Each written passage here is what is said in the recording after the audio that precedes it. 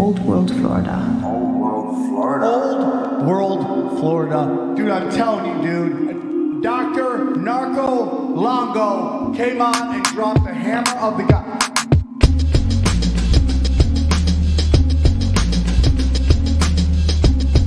America's mother, The devil sent the Spanish. Florida is Eden, the fountain of youth. Cali is deception. So Florida is the truth.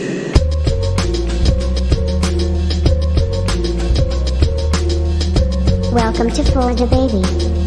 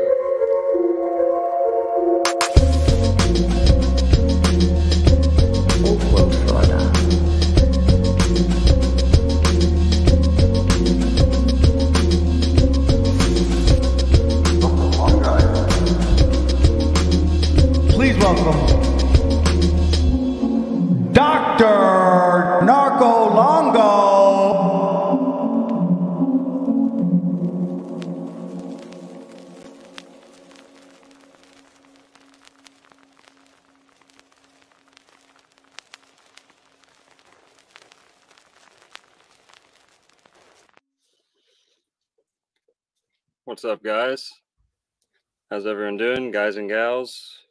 And of course, our other genders out there on this holy day of trans awareness, you know, as far as America is concerned.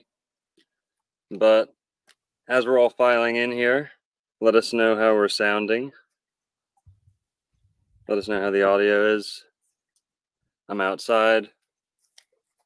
But a happy Easter, everyone. I was only joking boys and girls only in this in this uh, church. But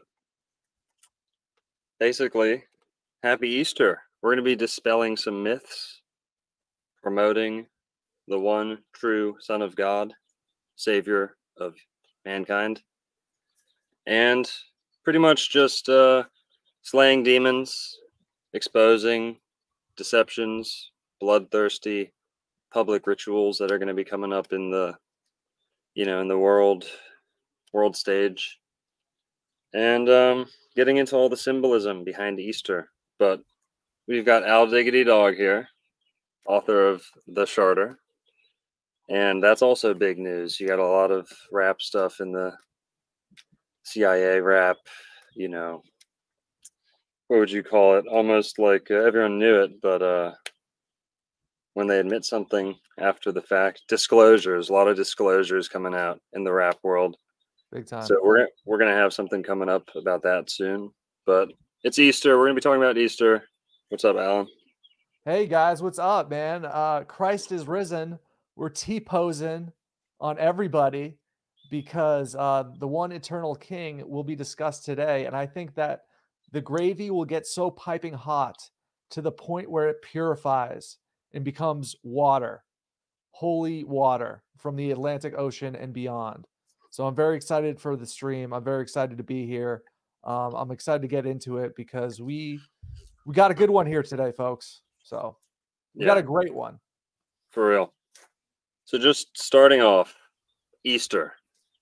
Is it okay to say Easter as a Christian?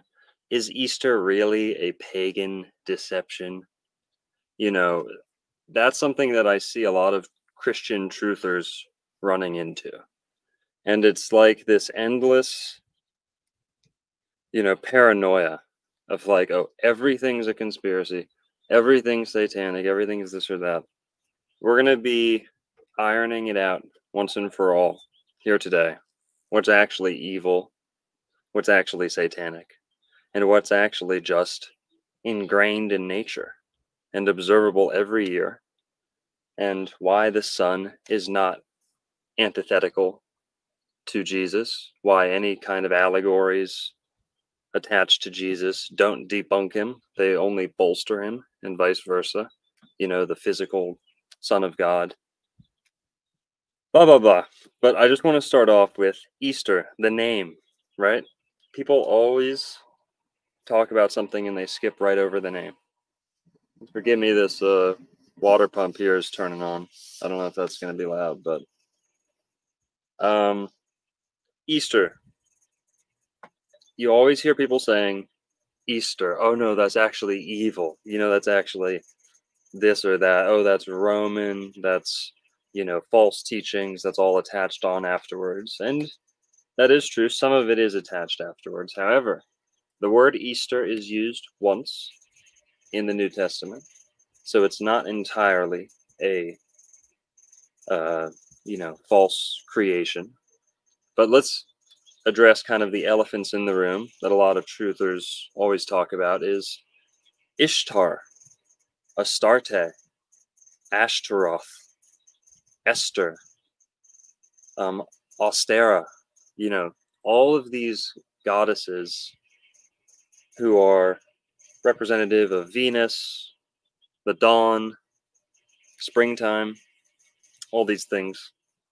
What you're seeing is not a debunking or a counter argument to the Christian Easter. You're seeing just other cultures' representations, their interpretations. Everyone sees the same story in the sky. There's no one satanic false doctrine that trumps them all. Everyone's seeing the same word of God in the sky. Adam and Eve did not have a printing press or an inkwell. So God wrote them the scriptures in the stars. Now you can blame some people for misinterpreting them, but when you look at the word Easter, you cannot deceive yourself. Look at it and think about it. There's some bugs here, forgive me. Easter. You're celebrating Easter because Easter is a celebration of the spring equinox. Now, hang on, Christians. Don't freak out. This is not, anti-Christian. This is not a astrological, you know, pagan holiday. They're one and the same. One and the same. It is complete paranoia, complete superstition to start listing off all the goddesses who name like Easter and say that debunks this one or this or that. They're all celebrating the East and the fact that the sun is rising in the east. Jesus himself likens, in his own words, likens himself to the sun. Almost all the apostles liken him to the sun in the sky.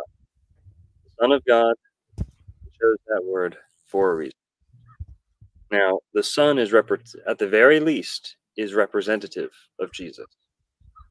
Now, at the very worst, Jesus is no more than an allegory representing the sun.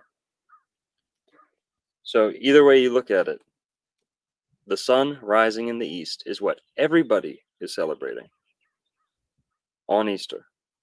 Now, you have your Passover, and we're going to explain why this is, you know, a week after the spring equinox, 10 days after the spring equinox, March 21st. And I would also want to press Christians, big church going Christians who maybe have an issue with astrology. Why is it that, how is it that the date for Easter is determined? The date for Easter is determined using astrology. Every denomination, astrology. So we're going to get into that, but let's just start off with Easter is a Christian holiday. Easter is the celebration of the sun, the sun's renewal in the sky, the rebirth, the conquering, the start of spring, and then summer, which is the kingdom of heaven, you know, warmth and abundance and all this and that. Everyone's celebrating the same thing. The pagans, these neo pagans, need to stop getting triggered by Christianity, and the Christians need to stop getting triggered by the neo pagans and all mentions of ancient mythology and things like that. So here, check in. How's the audio sounding? You sound good to me. What? Let's see what the chat has to say. They said it sounded good earlier, but that was you brought up some really good points, man. This is huge. This is a substantial stream. so, Easter is a Christian holiday. Now, let's talk about Passover, because obviously Easter is kind of an extension of Passover. You have your Last Supper, your whole, you know, torture scene and resurrection. But ultimately, this is positioned around Passover, and Easter is an extension of that. Passover is just the now hang on here it's not only the jewish celebration of the spring equinox it's many cultures many different religions that were in and around israel thousands of years ago were celebrating the spring equinox under very similar names perhaps venerating very similar goddesses it's all one and the same but i've got to look at my notes here Ishtar. You have your Babylonian goddesses, Sumerian goddesses, Assyrian goddesses. Almost all of these are shared, held in common with Nordic goddesses, Gaelic, Irish culture, same thing in their mythology. Almost identical in the Native American cultures. So, like I said, everyone's on the same page and stop pointing the fig- finger. So Passover ultimately comes from the word Pisces. Right now, we're at the cusp of Pisces going into Aries. Now, the spring equinox is March 21st. March 21st is the end of Pisces and the beginning of Aries. That's why it's the pass over. Passing over, flipping the page, new year. Oh, and hey, all your all my mud flooder, all our mud flooders out Yeah. there, Tartarian uh, doomers. Uh, you're O in a million. Why is that? Oh, another year. And guess what? There'll be another near another year next year. No resets. No Phoenix event can stop the sun rising again. That's the beauty of the story. That's what you're celebrating. The sun rises no matter what. And at the very least, the sun rising and the infallibility of the sun represents the infallibility of Jesus. Jesus rises again. The spirit of man rises again. Man can never be conquered with this satanic winter, cold, sterile, you know, AI tactics. Th- That's the essence here. That's what we need to celebrate every year. That's Aries, you know.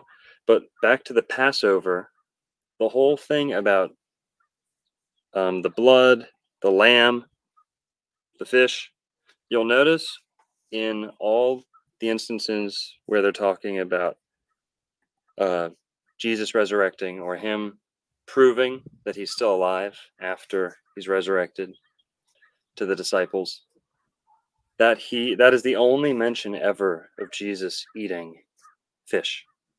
So this brings up another good point. Is Jesus a vegetarian? Was he a pescatarian? Did he ever eat meat?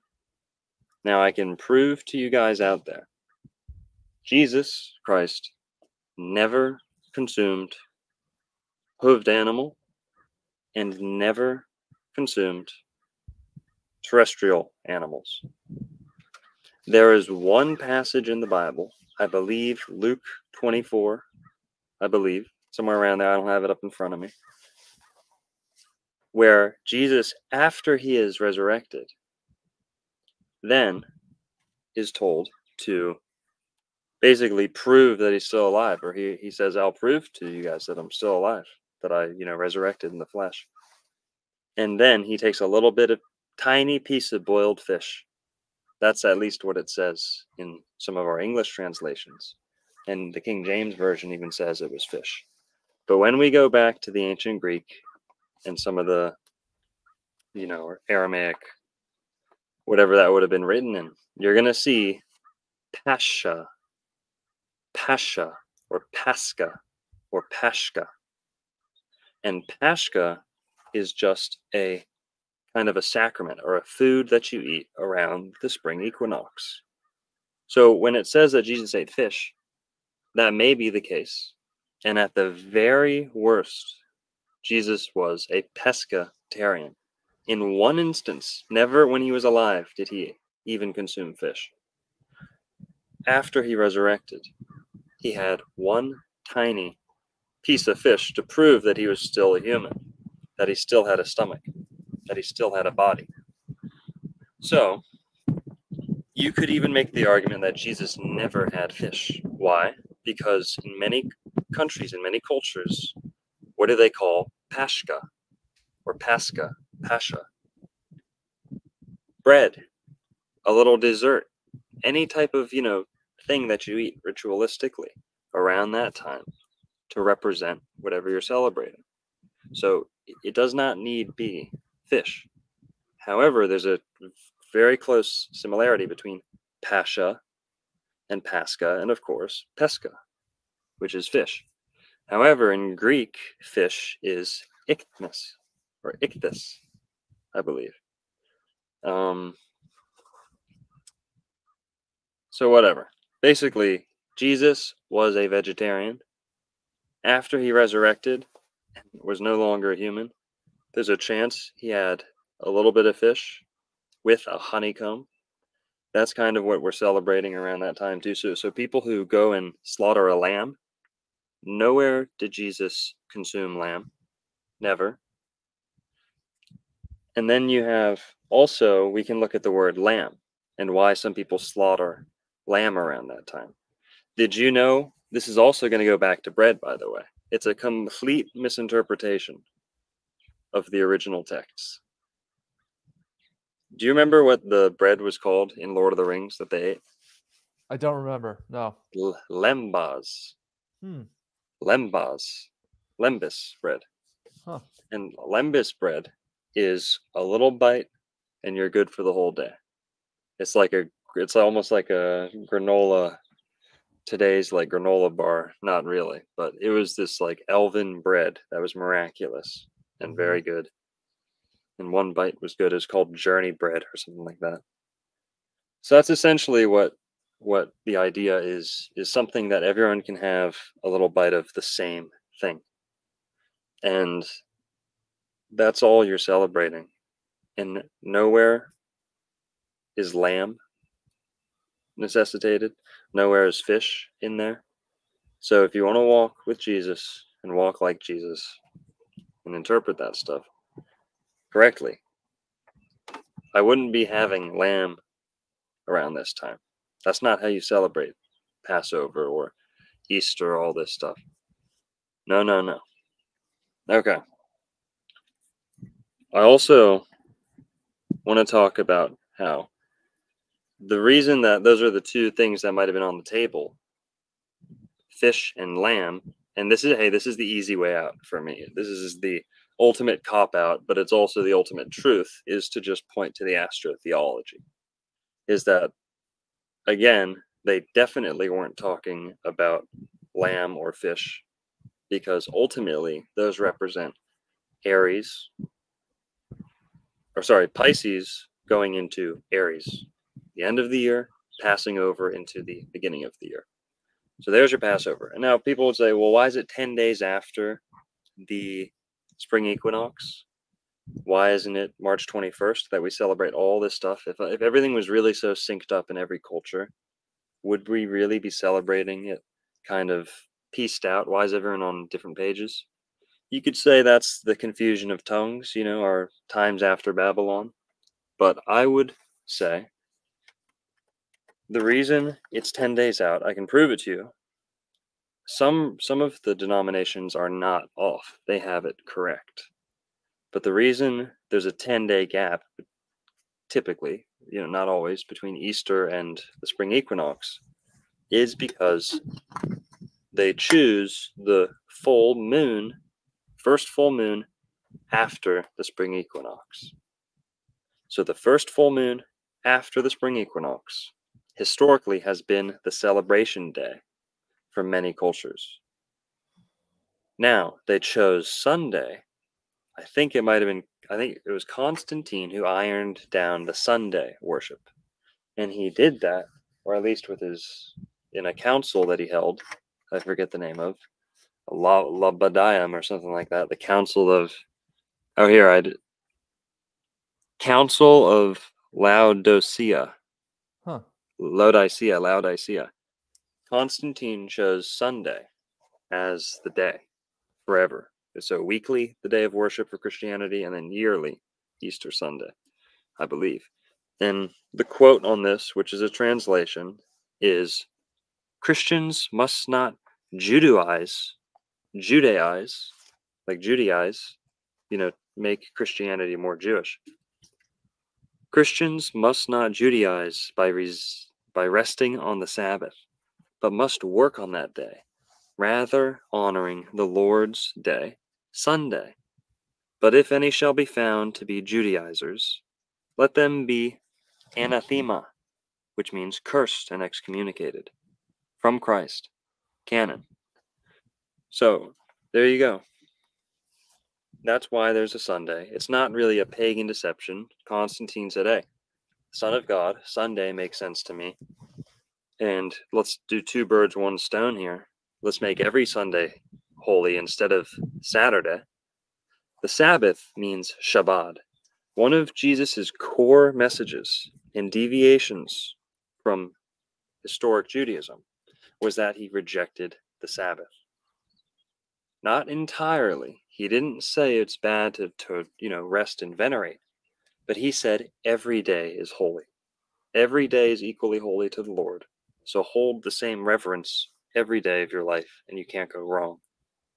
Whereas his whole me- message was protesting the rigid kind of, I hate saying dogma.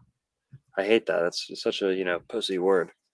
But he hated the rigidity and kind of the cop out attitude. Like, oh, if I show up every Saturday, if I say the words, if I chant the stuff, if I do the right sacrifices, my sins are absolved.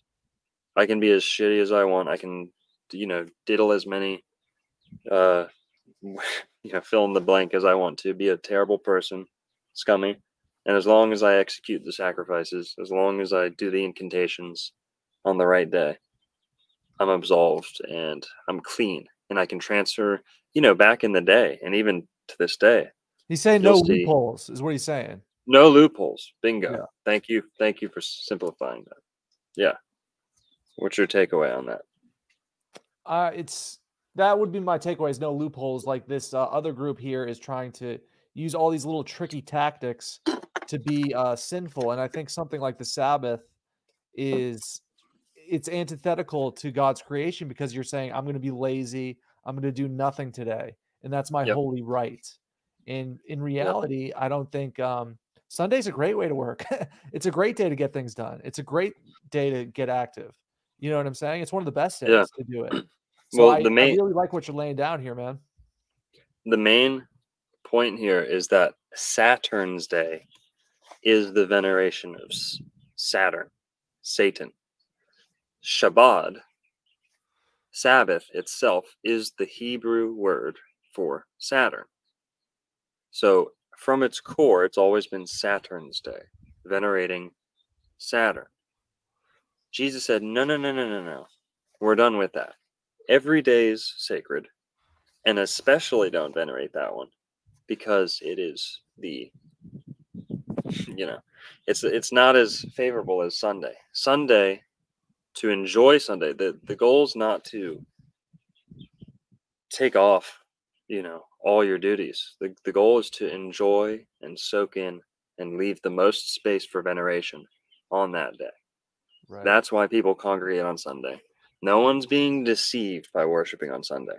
You are no less a Christian by going to the beach on Sunday than someone who goes to a church on Sunday. And in fact, I would say Jesus probably wants you at the beach.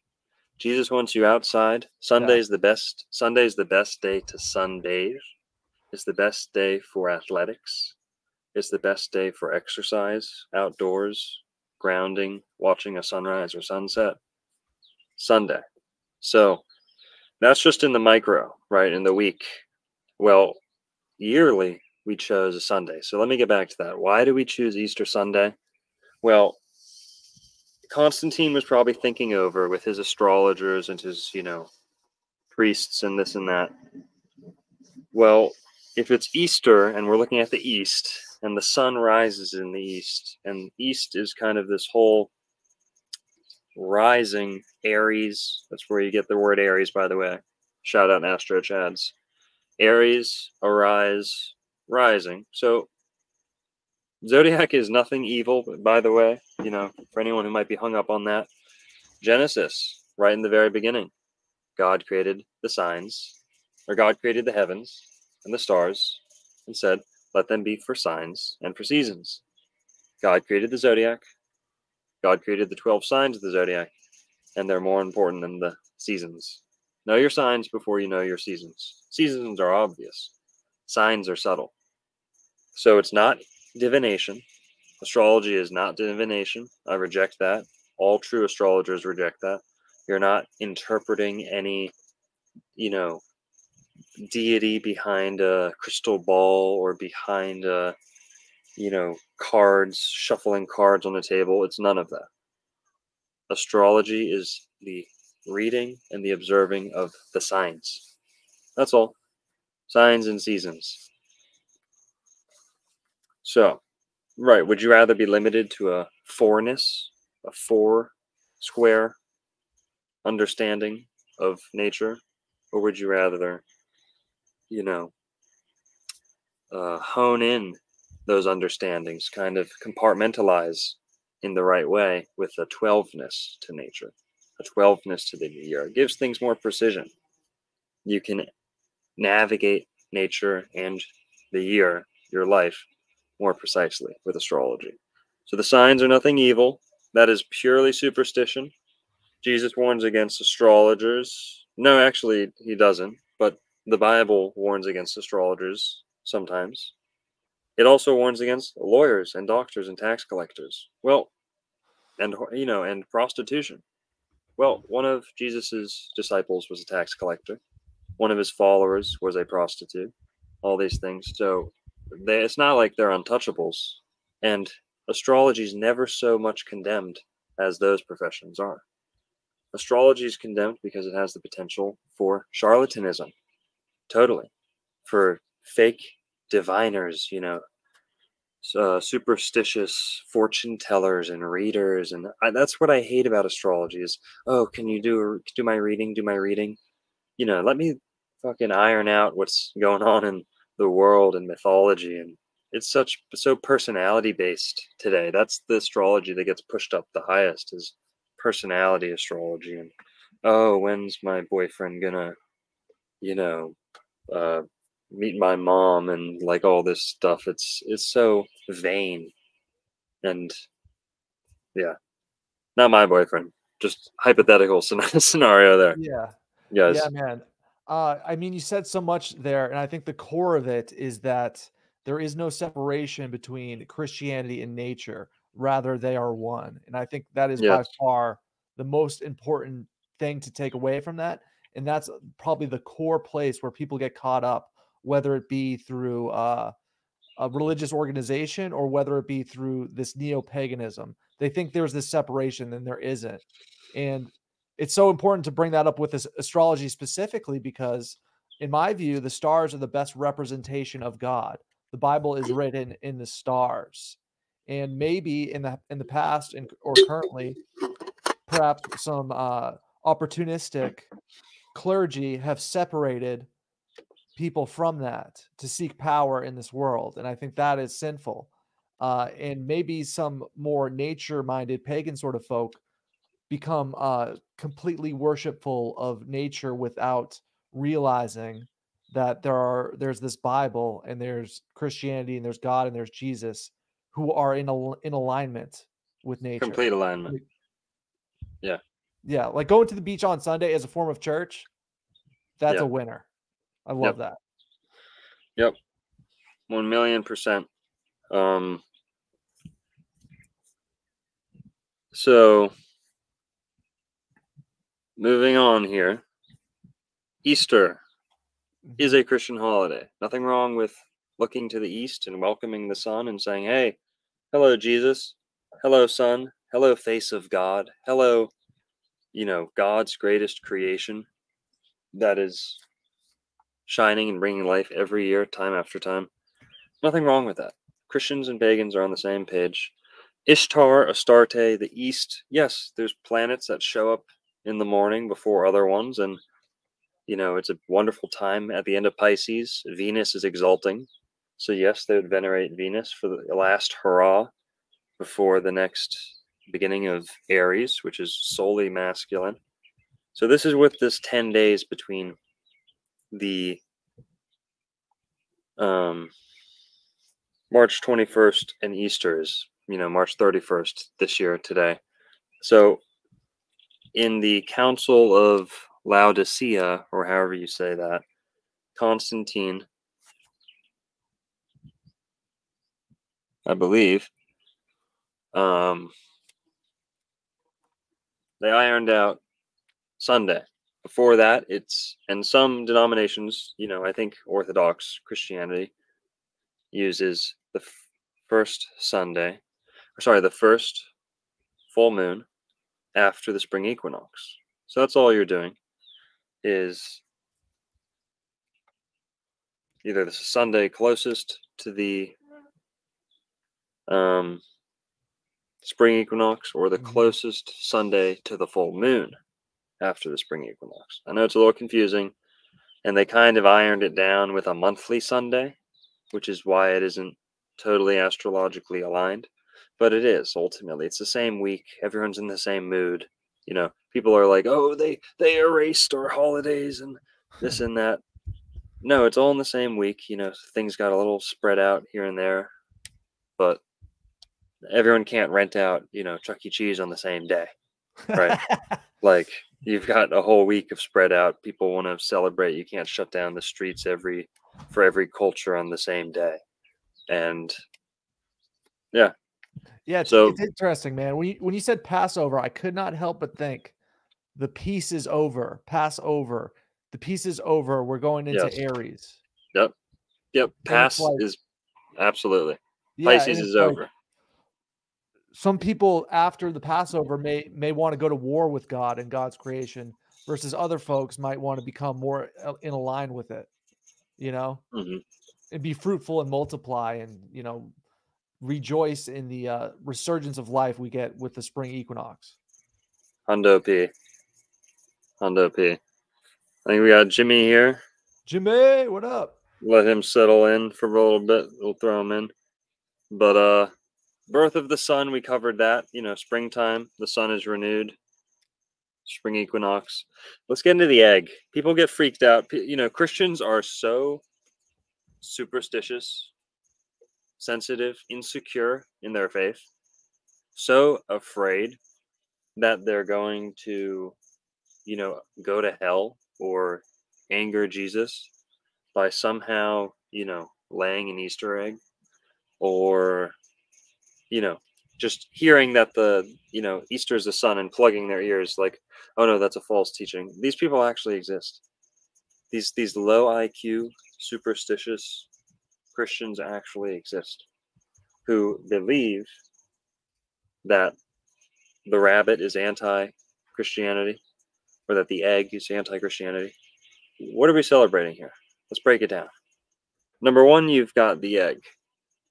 Yes, everyone kind of knows, it's pretty obvious that you have the reproductive symbolism of Aries, Easter, the east, the sun rising.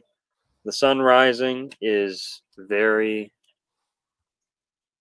you know, it's suggestive, basically.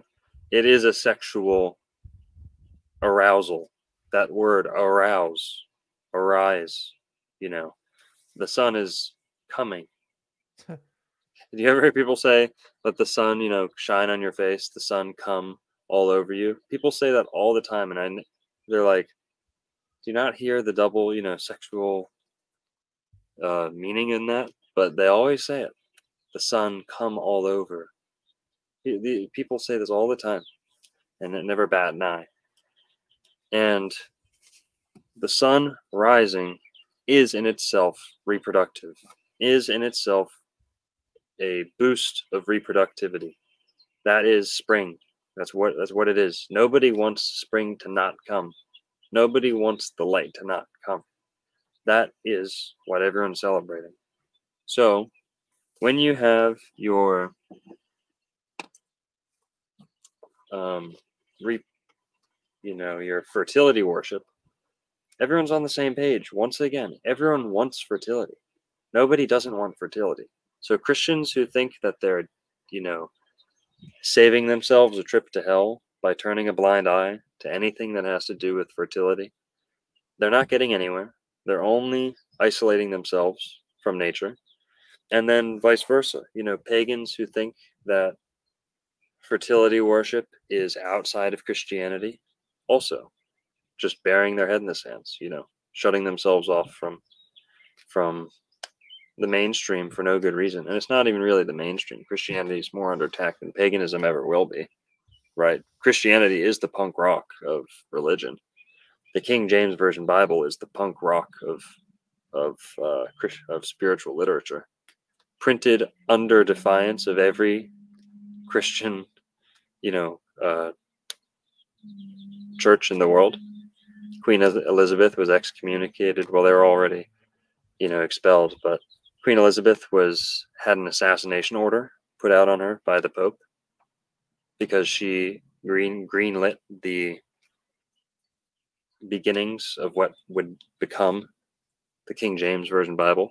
Oh yeah, that's punk rock. That is the, you know, anarchist cookbook of its time and it shattered it blew people's minds so i know it's a little played out today and you've got your boring preachers and your boring churches you know just moaning on about nothing. Here we'll throw a jimmy in like me. That might be what i am but what's up jimmy? Happy easter gentlemen. Happy easter bro. What a beautiful day it is. Yeah. What's up what's up? Wow, I didn't know that about uh, Lizzie the First. There, she was she was punk rock. I mean, she they say you know oh the Virgin Queen. You know, she never found a partner and all this kind of stuff. And apparently, that was because she believed her line was uh, cursed, and she wanted to end her own bloodline. When you look into the yeah, uh, and I don't know if that's true, but she just seemed to be. She brought in John Dee, the the uh, fascinating wizard that he was uh, whereas other monarchs would have wanted to banish him or kill him or burn him or something. She said, "No, come on in and uh, let's see, let's gaze into the crystal ball, or let's, you know, cook something up that's interesting and positive and can lead to peace and knowledge and stuff like that, you know." And uh, is have you heard much about that? That she wanted to end her line, and that's why she she yeah. never took a husband. Yeah, I talked. To, I've talked about that a little bit the, some people think that she may have had one famous child who she kind of protected oh. and set oh. aside and intentionally did not have with a you know royal like legitimate partner uh-huh but she she did she may have mothered a child that's just a theory with you know, francis drake i've got to i've got to mention it so people don't accuse me of not knowing about it um, okay that no, no, no. We'll we'll do that another time. Let's okay. focus on Easter. But yeah, just but, summing but, up. But I agree. Um, I've always had a. I was raised not really religious, but I went to a Christian school here and Catholic school there, and generally speaking, I was pretty underwhelmed by the whole experience, and uh, was told in school to don't don't ask that question, don't think that, and a lot of teachers would say it's it is because it says it in the Bible, whatever. And so you know, there were people just not quite doing their job uh, very well, and it turned me off. But now, through astrotheology, through looking at it through a zodiac uh, lens, and seeing potentials for religious tales to just be retellings of things that are maybe more complicated, uh, that are in the stars, that are ancient, that are fixed, that are not moving. And I, I love rediscovering it through this light. And uh, I love the way that the channel is going in this direction. And a lot of people are talking about, hey, I'm not just going to go and let the priest tell me how to think, but I'm going to, you know, not throw the baby out with the bathwater, sort of thing. And so, sure. Yeah. We Jimmy, I think you Mm. brought up a really important point because sometimes the astro theology can bring people back to Christ, back to God. yeah, it And has I for had a me. similar experience, dude, where it was Oh, yeah. like uh, I grew up Catholic and I had a really tough time. I did not enjoy it. I was Right. not uh, able to sit there and behave. I wanted to move around and things Yeah. like that. Yeah. So, but what brought me back to it was kind of like realizing that the astrotheological layer is just one layer. And if this, yeah. this thing, the Bible, God, Christianity has all these layers and all these other people they try to debunk. Ooh, I'm a debunkaroo because there's this astrotheological layer or because there is this uh philological layer or what they try to debunk just because they notice the different layers. And uh yeah, Mm, I- similar experience. Astrotheology can actually get people back into it, which I think is pretty cool. Exactly. And isn't debunking sure it's good, it's there's a use for it, there's a utility for it, but it's very egoic to say, no, no, no, I know better. I I can see through that lie. I'll show you why I'm right and everyone else is wrong. Yes. You know, Yeah. and we don't No. always need that No, because it, yeah. Hmm, Jimmy, just real, real quick here. It's it's the number one tactic of the low IQ yeah, bell bell curve truther, Yeah. who is top of the bell curve, uh, not not laterally, but like at the top, like in the middle. You know, middle Right. of the bell, middle of the bell curve. majority of Tru- people. truther. Well, Yeah. no, who thinks that they're high IQ by Mhm. saying, "Oh, you don't know that's a conspiracy yet." Oh, you, oh, that's cute. Oh, you don't know Christianity is debunked. Oh, Yeah, you don't know both. Oh, you don't know both sides are controlled. Yeah. Oh, you don't know. You know, and Yeah. it's Dude, like It- it's super that- that- pretentious. no, no, no. It's It the is. ultimate. It's the ultimate cop out because you don't have to know anything about anything. yeah, You can just say that's fake. That's Yep. that's not true. That's a deception, and that's as much as I need to know about it. And you can learn all you want, but I'm better than you because I know it's debunked. it's Yeah. depressing. Yeah. Yeah. It's so it's grim like- and bleak. It's like, sorry, pal, I didn't make it to the debunking party. Wasn't there. You know, Didn't get the memo. Yeah. Yeah, I know. It's just sort of like, well, obviously, that person uh, is displaying their, you know, incapability of actually finding their own way in and finding an interesting uh, other take. That you know, it's just it's so easy to just point at everything and say it's fake and whatever, controlled, you know. But um, find your own way in and find the beauty and the majesty. Jimmy, you're describing the uh, mud flood mindset. Yeah, essentially. Yeah. yeah. Yeah. And Yeah. sure, look, those photos are fascinating. Oh yeah, um, where are the beautiful cities in America? Yeah, yeah, yeah.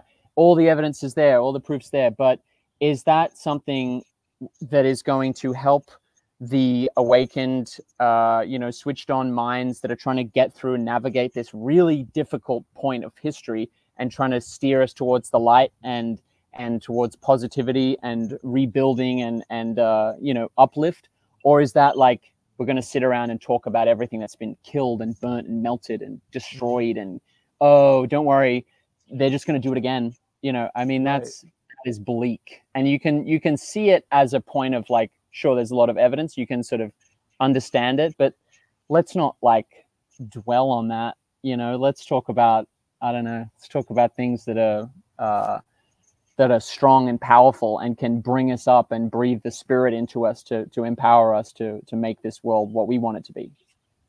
Shelly, yeah, man. That's how I'm feeling. We just got back from church. There was a beautiful, massive uh, Easter Sunday overflow. It's a huge. It's it's not a cathedral, but it's a massive church. Yeah, that's And- true. That's Trump's church. It is. That's right. It was where the funeral was for uh, Wow. Melania's mom. Was it? Right. It's a So, so Jimmy, stunning building, and it was. I, I got to share this with you in regards to you just went to church and you mentioned cathedrals. We mentioned the mud flood mindset. Yeah. So I would say that this that the cathedrals are power plants. Mhm. Okay?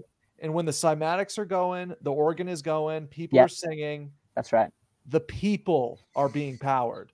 I loved your Spirit. Instagram clip about Yes. that recently. Yes. Yeah, it's and the, people, that are being in powered with the Holy Spirit. And so the mud flood retartarian mindset actually seeks to separate people from that and have Yeah. this nihilistic attitude where they can be reset by the controllers Yeah. like a fucking video game Yeah. any day and Yeah. they just lose lose lose lose Yeah. and they, and they have trouble getting out of that because they're addicted to it like Yes. a drug. And Yes. when people say, "Oh, you know, this person, oh, they're just making videos," oh, it's no, they're doing something very, very, very nefarious. They know what they're doing, Mhm. and what what the people, the viewers, are engaged in is voyeurism and Mhm. escapism, and we're here to put an end to that. Yeah. And we're Yeah. going to Yeah. give them the pure, holy water, no longer gravy, fucking holy water. Yeah. Al, Amen. Dog, can I touch? Can I touch on the uh, Antiquitech aspect? So uh, it's a great point. Al Dawg summed it up, you know, wonderfully. That the mud flooders, the Tartarian, you know, basically reset, pop, you know, matrix simulation theory types. Basically, you'll never ever turn on any of this Antiquitech. None of those buildings will ever resonate again Mm. unless you fill them with Jesus. None of those buildings have anything to do with source or you know none, none of Sorcery. those buildings have anything to do with you know that's really that really sums it up is this the whole source the fear mm-hmm. of naming god or applying a Yeah. masculine you know presence to the decider the creator that basically you can't fill those cathedrals with anything but jesus jupiterian energy benevolence that extends beyond you know one lifetime and one reset that's another thing you know if jesus died for all our sins like that's the resets of all resets and we're Yeah. going to get into why that is the sacrifice of all sacrifices Mm. and no sacrifices ever since then have done anything really Yeah. except you know maybe move a pebble an inch Yeah. Maybe. They, they can't move a boulder. Any any sacrificing happening after jesus's death or the the passing over from the age of aries into the age of pisces no blood magic has any sway anymore. Jesus voided it all by being the sacrifices the sacrifice of all sacrifices and he freed mankind from the kind of spiritual slavery that they were under after Mhm. the flood and mankind did have this you know unhealthy relationship with blood sacrifice Yeah. now whether whether that was ordained by heaven or whether that was a you know feudal way of just kind of passing by when they were under not favorable circumstances regardless jesus cleared that all up and brought true worship back to the world you cannot sacrifice away your sins Hmm. personally or nationally Transference. Yes, and you cannot deposit your sins into a chicken or a lamb. No. No way. So this is the big point. This is the big segue that we're coming to here. But I also Mm. want to get something out of the way first. Is you know, speaking of people dogging on Christianity. Hey, Mister, what are you doing over here? What are you doing over here? Look at this big boy. Prowling What's up, Mister? lion What's up, in his Mister? kingdom. Look at He those is eyes. prowling. Yeah. Dude, he's fierce. Beautiful. Looks like a pharaoh. Mm -hmm. Wow. Very nice. Very handsome boy. Yep. Oak, oak leopard. yeah. Florida swamp tiger right there. um so yeah, The Tartaratods. Okay, well- well, here. coined Here, expression. let's just get into how some people are dogging Christianity even more today politically. Yeah. You know, what is this that we've got going on with Biden Mm. labeling. Easter as the National Trans Day of Visibility, hmm right? hmm Okay, that's It's insulting. a load of BS. That's insulting to Christians, of course. It's insulting to the sun in the sky. It's insulting to Mother Nature. It's insulting to the zodiac, to God Himself, you know, the author of it all. So, but who cares? You know, literally, it's also just the weakest, most flimsy attack they could ever attempt. Yeah. So, literally, who cares? All at the same time. Yeah. Uh, It's not going to work. yeah, I'm getting eat up by bugs here. So. Yeah. Forgive me I for mean- dancing. Have you got any essential oils? Sacrifice is really just an, an uh, it's an absurd way to get a, rid of your own sins. Yeah, need to- lazy. You need to thank God and ask God for forgiveness. Yeah, That's what you need Yeah. to do. You don't need to It's- sacrifice animals. It's very absurd. mercantile though isn't it it's like okay look we'll put it we'll make a shell corporation and then that company will take the fall and if if there's too many tax liabilities you know it won't be us that goes down it's the corporation that gets Mhm. sued you know what i mean that's the Yeah. way like uh crony capitalism works it's not uh, i i did a bad thing it's this company did or you know i don't know so much about it but you know shell companies and and tax havens and it's all very like just put it over there and let let it go down. You know, uh, Yes. Monsanto is a good example. Oh, Monsanto, Monsanto, yeah, totally evil, and the whole world found out, and the whole world uh, critiqued them, and and rightly so, and l- legally as well. Now um, it was all passed over to Gates, Gail or Gatesy, and he's there running it in the headquarters of Monsanto. They just changed the name to the uh, Gates Foundation Food Alliance, Bill and Right. Melinda. You know, like Standard Oil is the Yeah. same situation where it's like Standard Oil, the monopoly got broken up, but it just went into seven or, or six different companies. Right. you It's know? the same stuff. It's just ah, different name. Yeah, different person. Same headquarters, same building, same everything. So, guys, we're really gonna sink our teeth in to this whole sacrifice argument. Oh my goodness. and it this just keeps getting this whole crazier. thing. But there's one segment we got to get through first with the trans day of visibility, Easter. Something I didn't mention when I was rattling off, you know, some of the Easter history connections is Florida. Florida, guys. Florida, like Easter Island, gets its name for the fact that it was discovered on Easter Whoa. or or during Easter celebrations. So you've got your um, Pascua Florida is a Spanish and Greek Easter festival feast Mm. flowery procession that is you know brought to Florida by the Spanish and they discovered Florida we're told during that celebration. Um, not perhaps Easter Sunday, but on during their Easter celebration. So Easter Island, same deal. That's why Easter Island got its name. Florida for Pascua Florida, which means flowery festival or flowery feast in Spanish and Greek. And that's where Florida gets its name. So yes, Florida had all these flowers that played a part in it. That's why the name stuck. And the double meaning always wins. You know, the triple meaning, more meanings to the word. That's the winner. So that's where you get Florida, Pascua, Florida. Pascha, that's what Jesus was eating. When it, you know, in, in Luke, when it says Jesus was eating something, it doesn't say fish. It's very close to fish, and you you might be right for interpreting it as fish. But when you look back at Pascha or Pascha, it's a sweet loaf to some cultures. So yes, Mm. you know, England might have written it down as as fish, but what he's actually doing, I think they chose the astrologically correct food. Aries, Pisces, lamb, fish. You always see that with with uh, with Jesus. I do not think that's a diet choice. So nowhere does it ever say Jesus ate lamb. Nowhere does it ever say Jesus ate fish in the flesh. Only after he resurrected, he had a little.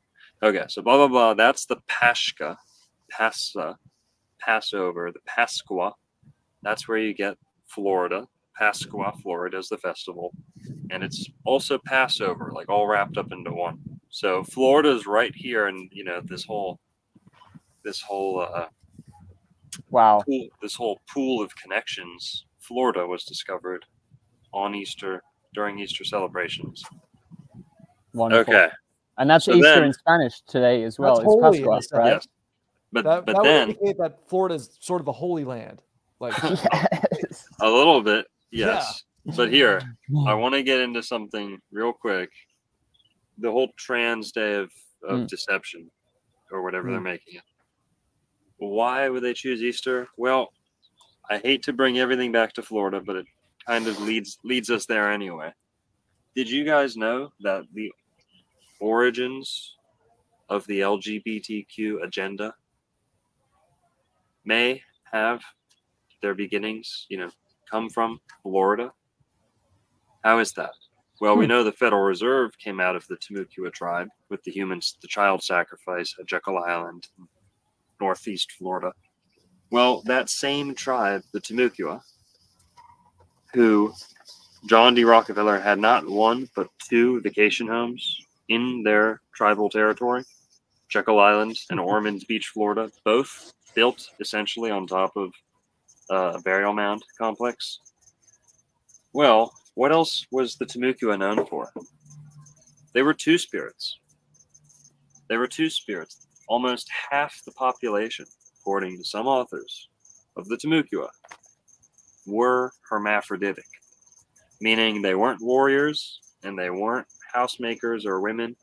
They were in betweens.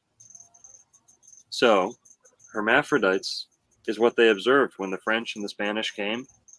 Almost half the population were this in between population. Now, how does that connect to Rockefeller any further than the fact that him and his family chose to live in Timucua territory at the northern end in uh, Ormond Beach, at the southern end, or sorry, at the northern end in Jekyll Island, at the southern end in Ormond Beach? Well, did you guys know that John D. Rockefeller Jr. was raised as a girl until he was nine Oh no. I didn't know that. by by John D. Rockefeller himself? Of course. Did you know that he was dressed in his girls, his older sister's dresses until he was, Wow. you know, almost nine? Right.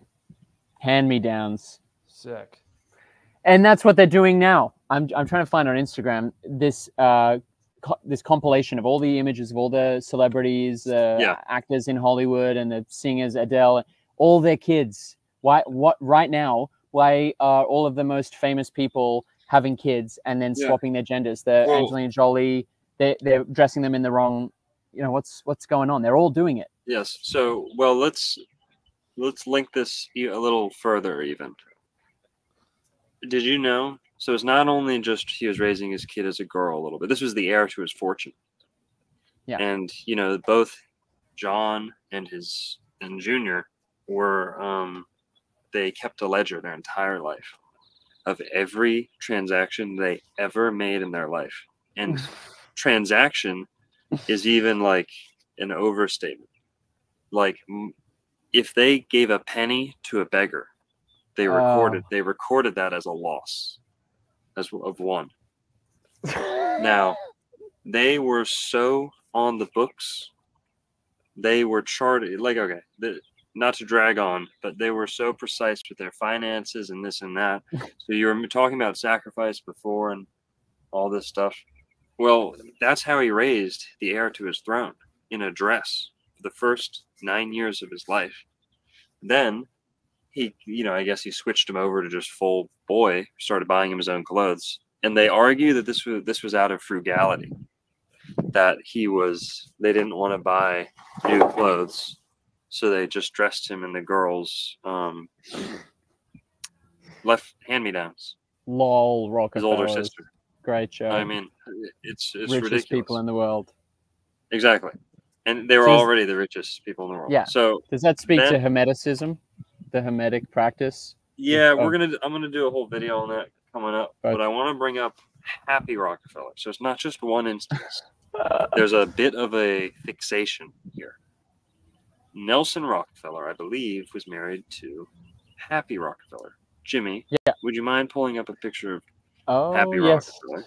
With the, f- pleasure. the first the first image we're going to show here of, of all the things we've talked about this is what you guys need to see but uh happy rockefeller was looks like a guy kind of acted like a guy Mhm. and a lot of people passed that topic around in the whole Mike Michelle Obama uh the French know. president Macron, uh, Brigitte Yes. Macron. you got that in the news too right at the same time leading up to this whole easter decision it all kind of leads back to florida especially with your grand theft auto release in Vice City leading up to this too. Oh, Um, yes. blah blah blah.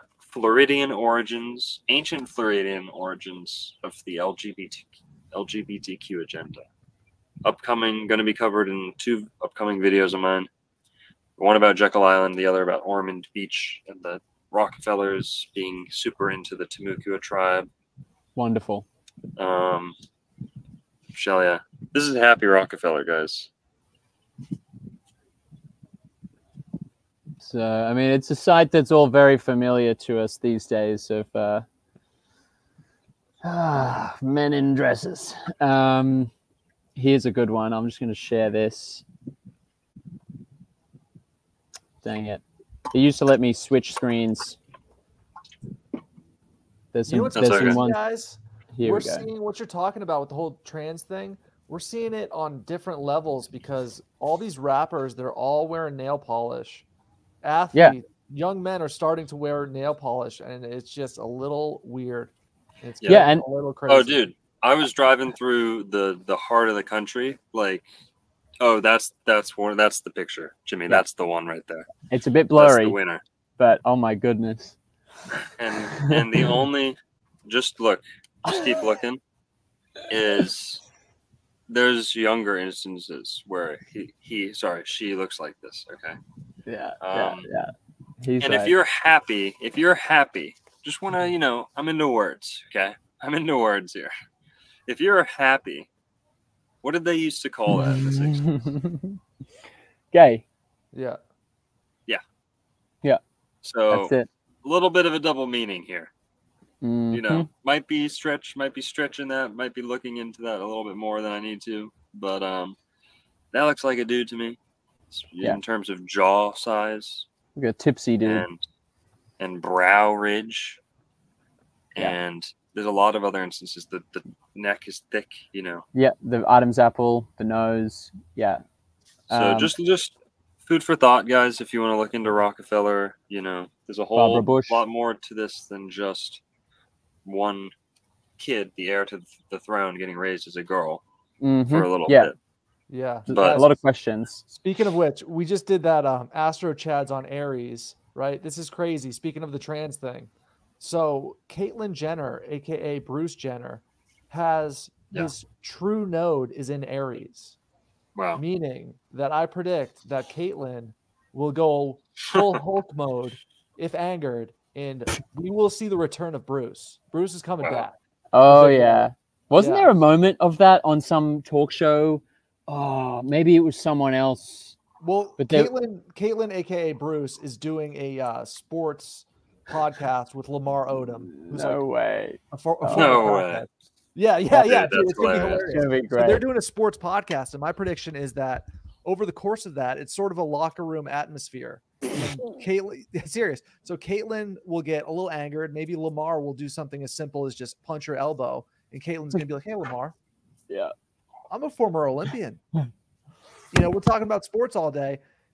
We're gonna see Bruce come back. Bruce Yeah. is coming back. Oh, Yeah. praying for it. Praying for it. Hulking True out because Bruce never got the uh, operation, right? Bruce is still No. fully Bruce. Still yeah, packing. exactly. Bruce Still, is still packing packing. heat. Yeah, That's yeah. great. Bruce is still an Respect. Olympic athlete. Like, Yeah, yeah. He's just back. he's just in a phase right now. Jenner and gender. Wow, good one, guys. Ooh, Wow. Bruce gender. Jenner. Jen- It's a little bit generic. Kendall Kendall. Mm. Oh, that's a good one too. Yeah. Hey Al, you mentioned rappers and stuff. I mean, Candace Owens has been covering uh, some of the different reports about um, who's the comedian that that talks about the whole the, the system that they all have to go through. And Kanye, I didn't know this. Kanye um, said multiple times that they at different points try to get him in a dress, like, oh, it's gonna be a funny Yeah. joke, like music video, like as a prank, like wear this dress, get, do this dress and it just seems to be this thing where they they have to get them all in dresses. Yeah. and even not just you know black rappers and actors and stuff but like um what's his name? The wrestler who just did the oscars naked um John Cena. john cena. Yeah. Yeah. That was He- kind he- of ob- that was kind of an obscene scene, wasn't that? it was disgusting. It was a cringe. Obscene, John Obscena. oh john cena yeah that's good. An obscene Cena. But it's it's destructive of masculinity. It's and it, it was like we're talking about the the uh, the last Bond film. Um, someone mentioned the he was on his knees is the visual and he dies at the end of it. They they seem to really want just to implant this imagery of uh, strong masculine muscly men like on their knees and in dresses and in makeup and just you know destroyed and uh, and made it made a joke of right and Yeah. it's it's very uh, they're desperately trying to do this Yeah. Definitely.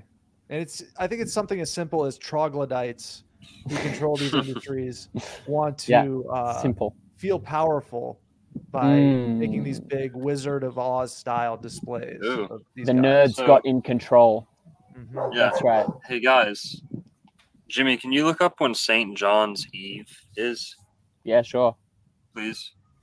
Um, last little connection here with Florida and the LGBTQ agenda and Easter. Remember Florida being discovered on Easter? Florida having being the first place Europeans, you know, set foot and hung out with the natives in the United States. And it was jam packed with trannies. I mean, what would you do? so literally, like America's beginning, you know, Oh my god. has this in it. And Statue of Bolt. Liberty. Yep, good one. That's Lucifer. That's Libra to Liberty, Lib- Libra. So right in between, that's Eve, evil in the truest sense. But uh, let's um. I so just want to talk 23rd about. of june st john's eve Okay, so that's a little ways off, but basically, St. John's Eve was a holiday. One one of the first festivals celebrated in Florida, or European holidays celebrated in Florida. You know, you had America's first Thanksgiving, three of them before the English ever got here. But then you also have St. John's Eve being celebrated by the Spanish or the Menorcans and Greeks a little bit later who came to Florida. But what they would do was in St. Augustine, they'd celebrate St. John's Eve. And one of the ways they would celebrate was a cross dressing festival. And this was a lot of Menorcan settlers. And a lot of them happen to be, you know, uh, conversos or what you'd call crypto Jews. hmm So St. Augustine had a Menorcan quarter, kind of like you see like a Jewish quarter in a lot of cities Mm. and or a Arab quarter, things like that. Is that ethnically Spanish, M- Menorca? Yes. So, like Mediterranean. well, they're kind of strange because they're part of Spain. Menorca and M- Are Yeah. part of Spain, the Balearic Isles or islands. Oh yeah. But then, but then culturally, they're super Greek. okay. So culturally, they're very Greek, and they look Greek, and they dress pretty Greek. Yeah. But they're also super close to Spain. So Menorcans came over with Greek settlers in the 1700s. Spaniards were here in 1513 in Florida around Easter time. So St. John's Eve was something that would have been celebrated in St. Augustine area pretty early in America's history. And one of the ways they'd celebrate, like I said, was cross-dressing. And that's just I'm noting it because that was Timucua territory as well. So it's almost like something they had in common with the natives was once a year they would dress up and have like this cross-dressing, you know, LGBTQ tranny purge. And Let it Yeah. out. yeah, they, Yeah. they might have let the Timucua uh, in for in for a couple drinks on that night. Yeah. Yeah. They learnt from them, perhaps. Wow. Wow. Well, yeah. So that's that's it for the tr- tranny, you know. And you know, I say that with all good intentions, nothing but love. Namaste for for everyone. You know, that's uh, not not a. I don't know. Can you? Is it? Are you not allowed to say that? I think you can say that. But uh, what? Namaste.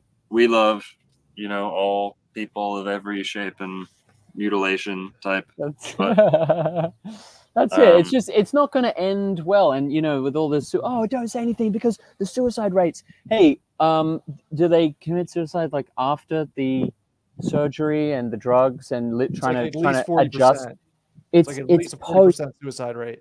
Yeah, but it's post transition, right? Yeah.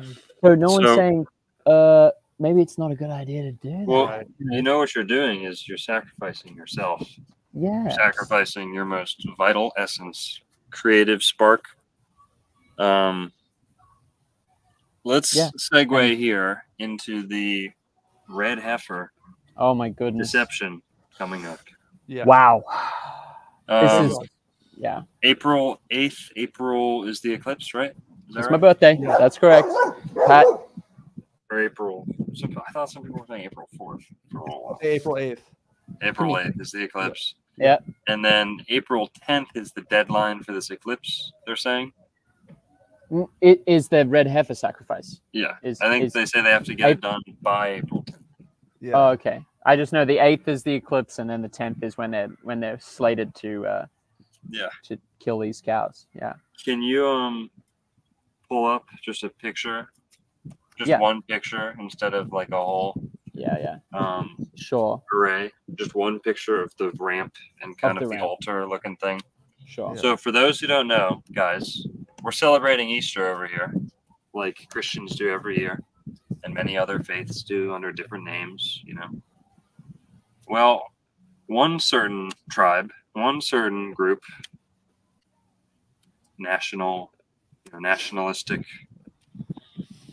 ethno state, pretty much. Not exactly. Literally. but um that's kind of how they want it. Is planning something that is so despicable that it ought to be shout from the rooftops?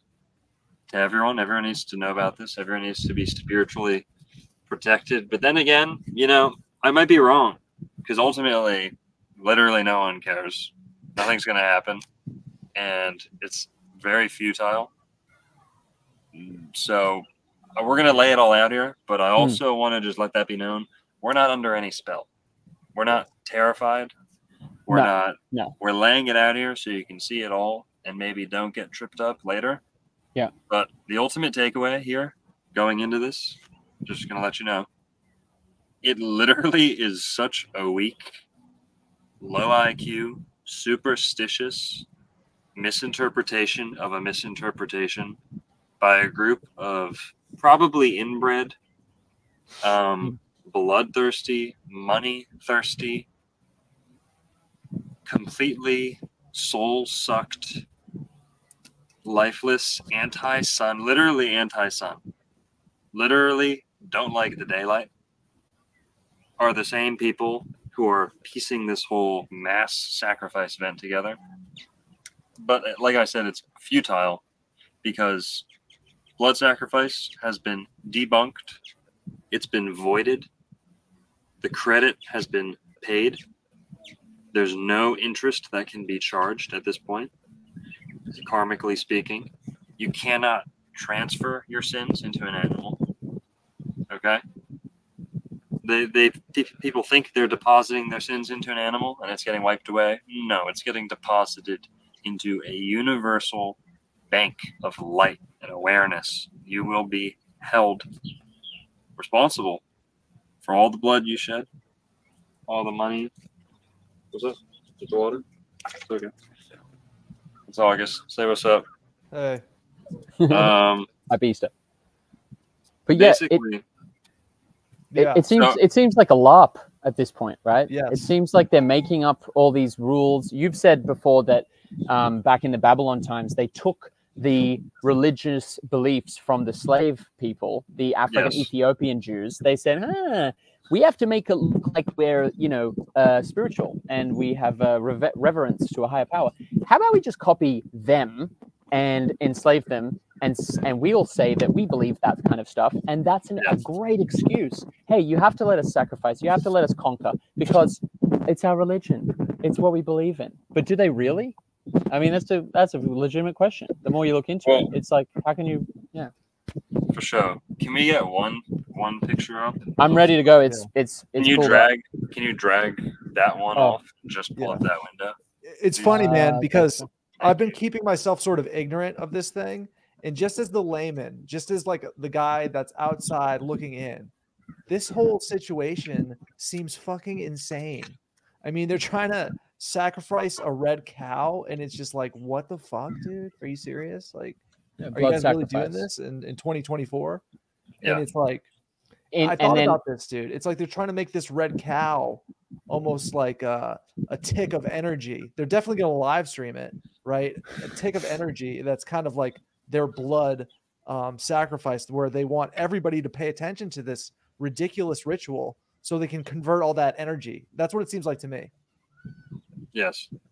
Now, for those who need to be caught up here, we've been talking about it on a couple streams, but just the big picture is Israel, whether nationally or as a whole religious entity, or I don't know if it's certain sects are behind it, but certain sects are definitely against it. Mm, Um, you've got the preparation for the construction of what they're calling the third temple. And leading up to that, they need to, in their eyes, sacrifice a number of red bulls, cows. In the scripture, it says heifer. that's a female cow, multiple- correct? Multiple red heifers, yeah.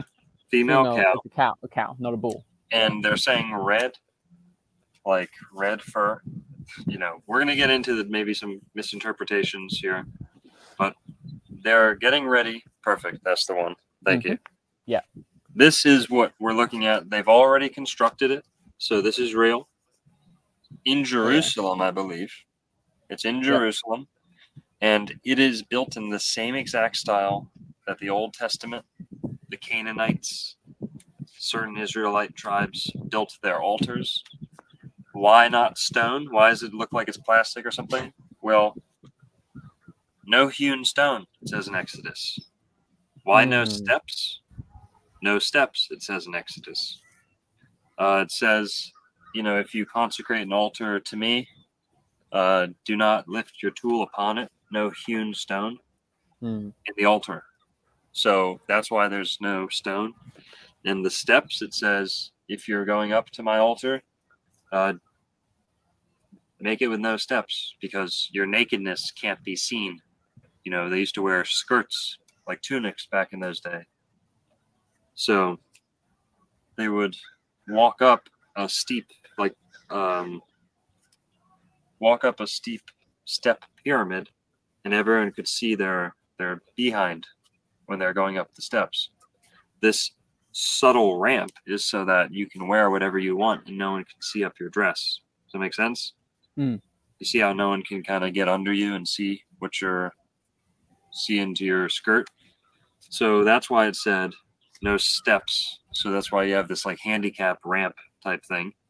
This is the exact same style that a lot of exact same style that a lot of Native American earthworks are built into. A little bit pyramidal, but um,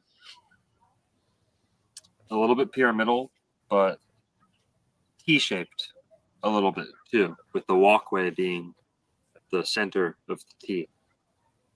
And I also just want to talk about how this is a satanic altar. Undoubtedly. No ifs, ands, or buts. This is a satanic altar. This is not welcoming a Messiah. This is not welcoming Jesus. This is not welcoming any benevolent deity. This is the blood of the innocent on an altar of the evil. This is not going to any good deities. The good God in the sky and Jesus Christ will reject and spit out this offering. It's disgusting. It's offensive. But how can I prove to you that this is a satanic altar? And this is not any, you know, uh, like libel or this is not any um, name calling. I can prove it to you. It's a horned altar. A horned altar is a Canaanite altar, which is, yes, only one of the Israelite tribes, the Canaanites, or one of the peoples that constitute the Israel tribes. But the Canaanites had horned altars. They were the ones who were most engaged, closest connected with this ancient Babylonian blood sacrifice. This is not a conspiracy theory. They'll even tell you this themselves. Okay, this is just mainstream Old Testament archaeology. Is they'll tell you, oh yeah, the Canaanites used horned altars for things like child sacrifice, animal sacrifice, uh, burnt offerings, fats. And what they're going to do here, I don't think they're going to sacrifice the animals on top of that. I think they're going to sacrifice them nearby and then bring them up there and then chisel them, like burn them. Sorry, not chisel, like uh, grill them on like a ember, like a plate of embers, like a burnt offering up there at the altar. But I could be wrong because it is Hmm. white and it might be white so the whole world can see the blood run down. Yeah, that's on what I the thought. white. It's like, uh, yeah, it's why And you it- know, Yeah. this is overlooking the, the the dome of the rock and you know what's even more you know sickening and, and frightening about this uh these intentions is that not only this act but what is the purpose of this act in their eyes in their minds it is to purify because they burn these heifers. The the priests then will bathe in the ashes all over their body. That is supposed to pu- purify not only them but the entire people these people uh, so that they have the um, the green light to blow up the most sacred site of the entire Islamic world, the Al Aqsa Mosque, the the dome on the rock, which is in the middle of Jerusalem and has been for hundreds of hundreds of years, is the most sacred place for them, uh, so that they can rebuild their their third temple, which was there apparently uh, thousands of years ago, and the Romans burnt it down. Hmm, why? I wonder. What was going on in there? What were they doing constantly? Why would the Romans go to the trouble of burning it down? I think twice, right? It was burnt down twice, and so this is the third time that they've rebuilt it. Um, and just today, I've I've found even more information about what they're planning to do in there. But the whole purpose of this is is to legitimize the uh, the, the the destruction of the most sacred site of the entire Islamic world. Wow.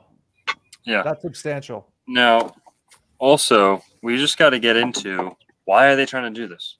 Who are they trying to appease with by doing this? So I just want to point out in the Bible, n- it does not condone this. This is anti-Christian. It's actually anti-Judaism, true Yeah. Judaism. Yeah. This is purely a Zionist political stunt, misinterpreting the scripture to justify some, you know, future move that they're going to make, whether it's the temple or another invasion or another war. And like I said, I never get into this whole doomer, you know, mindset. Always conquer and rise above. This really isn't going to change your life much. But uh, But they can only do it yeah. with the support of the West. They Yes. they can only do any of this with Yeah. American support. people don't know about this. The Zionist Christian people- world. People don't know about this. CBS Exactly. did one little story um, that is blacklisted. If you try and look up a picture of this online, you won't get any. You only get the screen caps from the small little CBS interview that they did. You cannot find an actual picture of this. You can't find a, a JPEG that's Yeah. crisp and someone took it there. It's always a screen cap from this one interview That's right. and this is scrubbed from the internet. Now, I don't know if they're going to publicize the moment itself, but leading up to it, this is like so under publicized. Yeah. It's under covered. Well, guys, what you have here is a mass sacrifice event. And you could say that they've been sacrificing humans in the months leading up to this in mass too. But um, Yeah. I didn't want to let it be known that this is not a political stance for me. This is not a race stance for me. This is not anything. I grew up with Jews. I love Jews. You know, I know everyone has to. I know everyone has to say that before they say anything. We love everyone. I love, you know, truly. Like I get along with Jewish people. Just, just great. Uh, it's the, it's the truth. I'm not ashamed to say that. There's no, there's nothing wrong with Jewish people. There's something wrong with this Zionist, Hmm. racist, supremacist attitude that some of them take on the world stage. And I'm going to tell you right now, I'm coming at this solely as an animal rights advocate, as a vegetarian, as a follower of Jesus, yes, but ultimately it comes down to do you sacrifice animals, yes or no? Okay, YouTube, you hearing me? This is an animal rights position, truly, and it should be for everyone. How can anyone in clean conscience condone this and think that this is somehow trying to, you know, communicate with a benevolent creator through this? This is purely satanic magic, and they've pretzeled every media company into their web, into Mm. their ass backwards explanation, and they're going to get the whole world to justify satanic slaughter on the world stage. So for that, for me, I was always, I would always go to bat for any group of people. I would always go to bat for Jews too. Okay, nothing, nothing wrong, nothing bad there. But when you pull something like this, I'm out. Yeah. I'm not supporting a smidge of it. Mm-hmm. I'm not making any exceptions. No, I'm completely done. All of America should be completely done with Israel based off of this. All of America and all of Christianity and all of every religion and every Jew, as far as I'm concerned, should denounce this. Completely tune out when the time comes. You know, get the word out. Denounce it. Completely denounce any political, you know, uh, thing that they're going to try and pull after this. It's complete evil, but we're also going to get into the futility of it. I've kind of explained why blood sacrifice doesn't do anything. This is Mhm. ultimately just like a WWE stunt, like leading up, leading up to you know something else. A lop. But basically, I just want to also talk about number one, why is it explain, you know, why does it come back to America too? Why should we talk about it? Well, they got these cows from Texas. And why did they choose this date coming up? Well, it's the eclipse, the solar eclipse. And they say they're trying to usher in the new, you know, age with the new Messiah and the new temple, all this. But it's not going to change anything that a piece of steak at an outbay, Outback steakhouse wouldn't have changed. Mhm. Truly, that's not e- that's not even an attack on meat eaters. Literally, go order a steak, and you just debunked this whole prophecy. Clown, circus, charade. Yeah. No, any steak at Arby's, any steak sandwich at Arby's, is ten times stronger magic than, than Yeah. this charade they're gonna pull. Parasite This- magic. This charade needs to be mocked. Like what comes to my mind, this is a Burger King ritual. Okay. they're literally going to kill a cow and they're going to grill it. This is a Burger King ceremony. A Okay? whopper. It's, it's a joke. Like this Yeah. is preposterous. What Yeah. you're trying to do. That's that's Burger the best King. thing to do for these sort of it's ridicule, it's mockery. Jefferson said that, didn't he? He said um the most uh, you know offensive and dangerous uh, ideas and prospects should just be ridiculed, laughed at, because that's that's that's the best approach here. They want to make people angry. I mean, why? What's going to happen Yeah. uh, when the most sacred uh, site of the Islamic world is is nuked, is blown up, and then uh, Jewish temple is built on the top of it? Are they is what's Iran going to think about that? And then you know who are they going to ally with? It's going to you know potentially cause a global uh, conflict, and then good old Uncle Sam has to come in there and uh, and sacrifice more uh, for that for that reason, you know. So it's Yeah. yeah, it's uh, it's ridiculous. Tony, good comment there. X Games Israel 2024. yeah. X. And why are why what's with this whole X? You know, Twitter becoming X, T to the X, Twitter X, T to X, Tesla moving to Texas. Okay, he has X, he has a T, space X. Um, all these things moving to Texas, the T X. Well, you've got your two major eclipses, recent eclipses happening in crisscrossing over Texas, forming an X on Texas near the uh, Stonehenge site of Stonehenge too. Um, Oh yeah, Texas.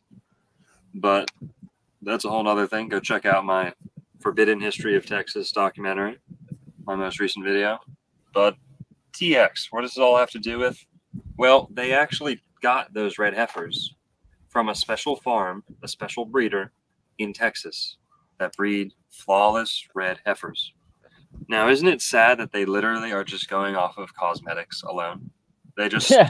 they just scanned the market and were like, those are, hey, uh, you know, uh, um, what's it? Hey, Every hair has to be red.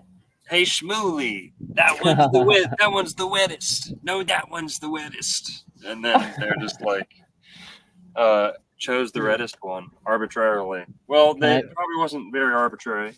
Probably they Yeah. chose the reddest ones from the position where the eclipse was occurring, crisscrossing. But here's our uh oh major sidewinder missile coming in. Uh oh, so you know missile launch notice. Uh oh, guys, you want to know what it is? What? Eclipses happen twice a year, more than twice a year, two and a half times a year, every year. Sorry, guys. Sorry, John Levy. Sorry, Archaix. Sorry, um, all the superstitious, you know, doomer, um, profiteers, charlatans. Ultimately, this eclipse is no more scary or sketchy or intimidating than the other million eclipses that happened. And life went on every time. And there's going to be two eclipses in the year after this. And then there'll be two more. And like I said, two, two and a half eclipses per year, pretty much. So, what's so special about this one? Nothing really. They both went over Texas. I was there for one of them. I survived. You know, did some funny stuff to my electronics. And that's Mm. probably why they, they try and get the sacrifice on the eclipse. Also, I want to talk about Dune.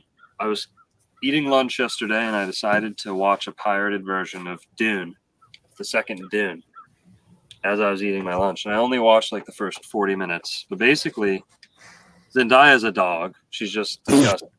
She looks like someone hit her with a door, like in the face repeatedly. The car and then she, then she healed over, and that's the result. Well- like ten years later.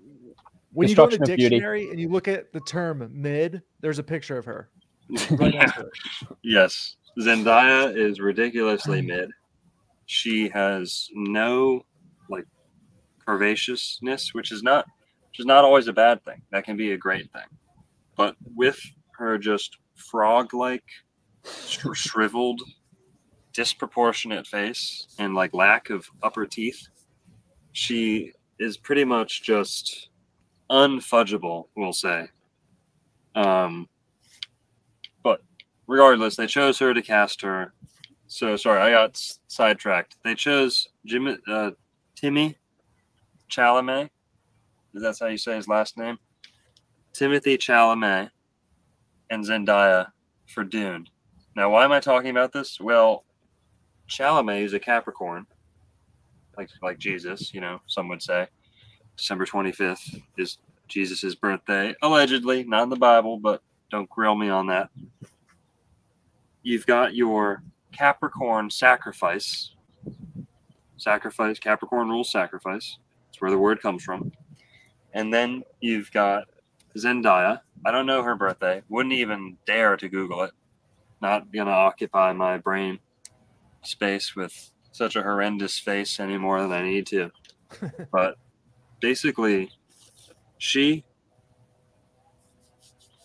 Okay, so the whole thing about Dune is that he's a messiah, right? And I, I wasn't like I'm not super obsessed with this movie. It didn't really matter. I'm just eating lunch, but then I notice there's a battle, there's a fight scene, and the the sun eclipses, and it's right before or after multiple conversations where he's like, "I don't want to be the Messiah, Mom," and they're like, "She's like, you need to be the Messiah." The people are calling him Messiah, Messiah, and Dune just like came out, or it's like in the process, you know, in theaters or whatever, the second one.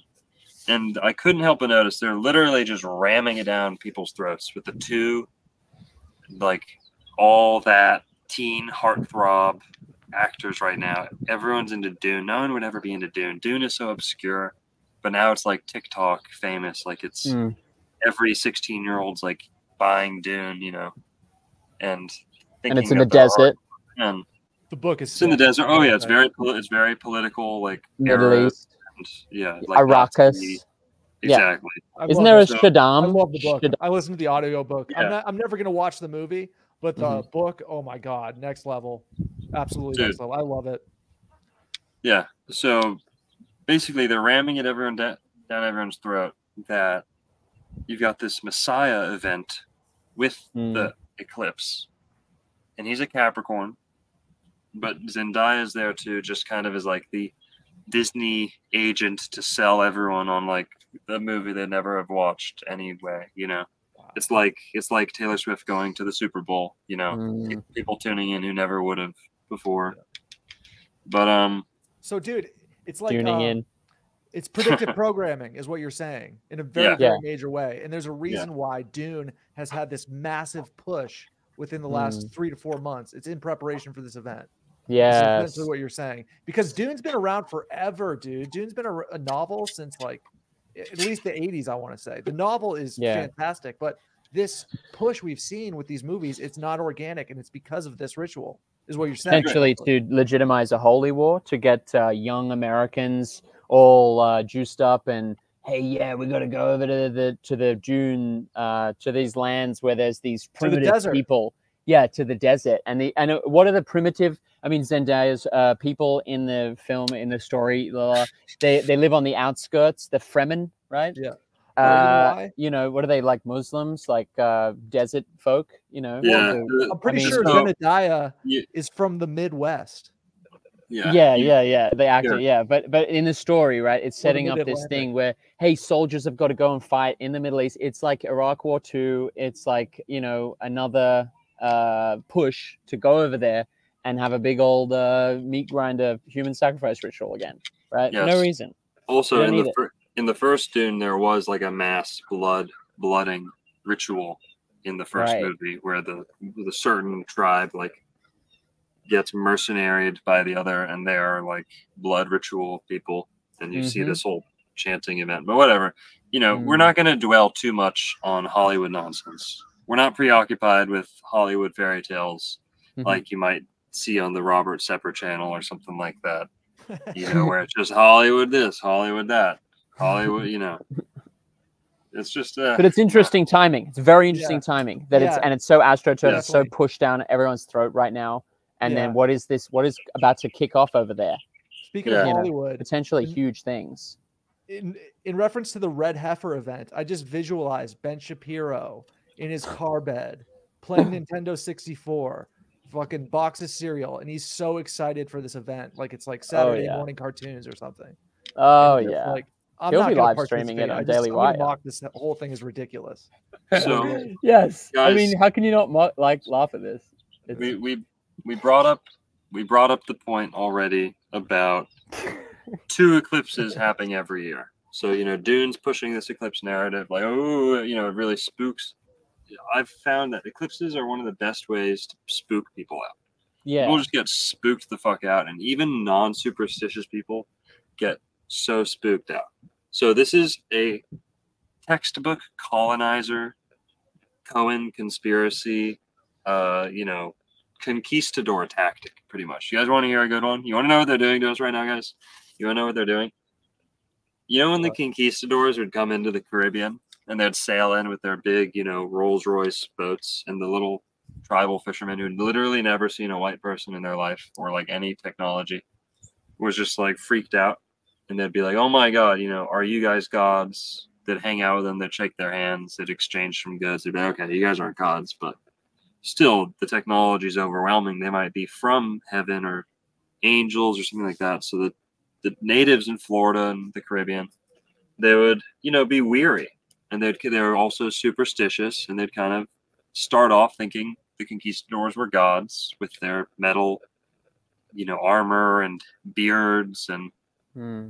um, horses, and they've never seen a horse. I mean, this is so overwhelming. You know, culture shock is an understatement.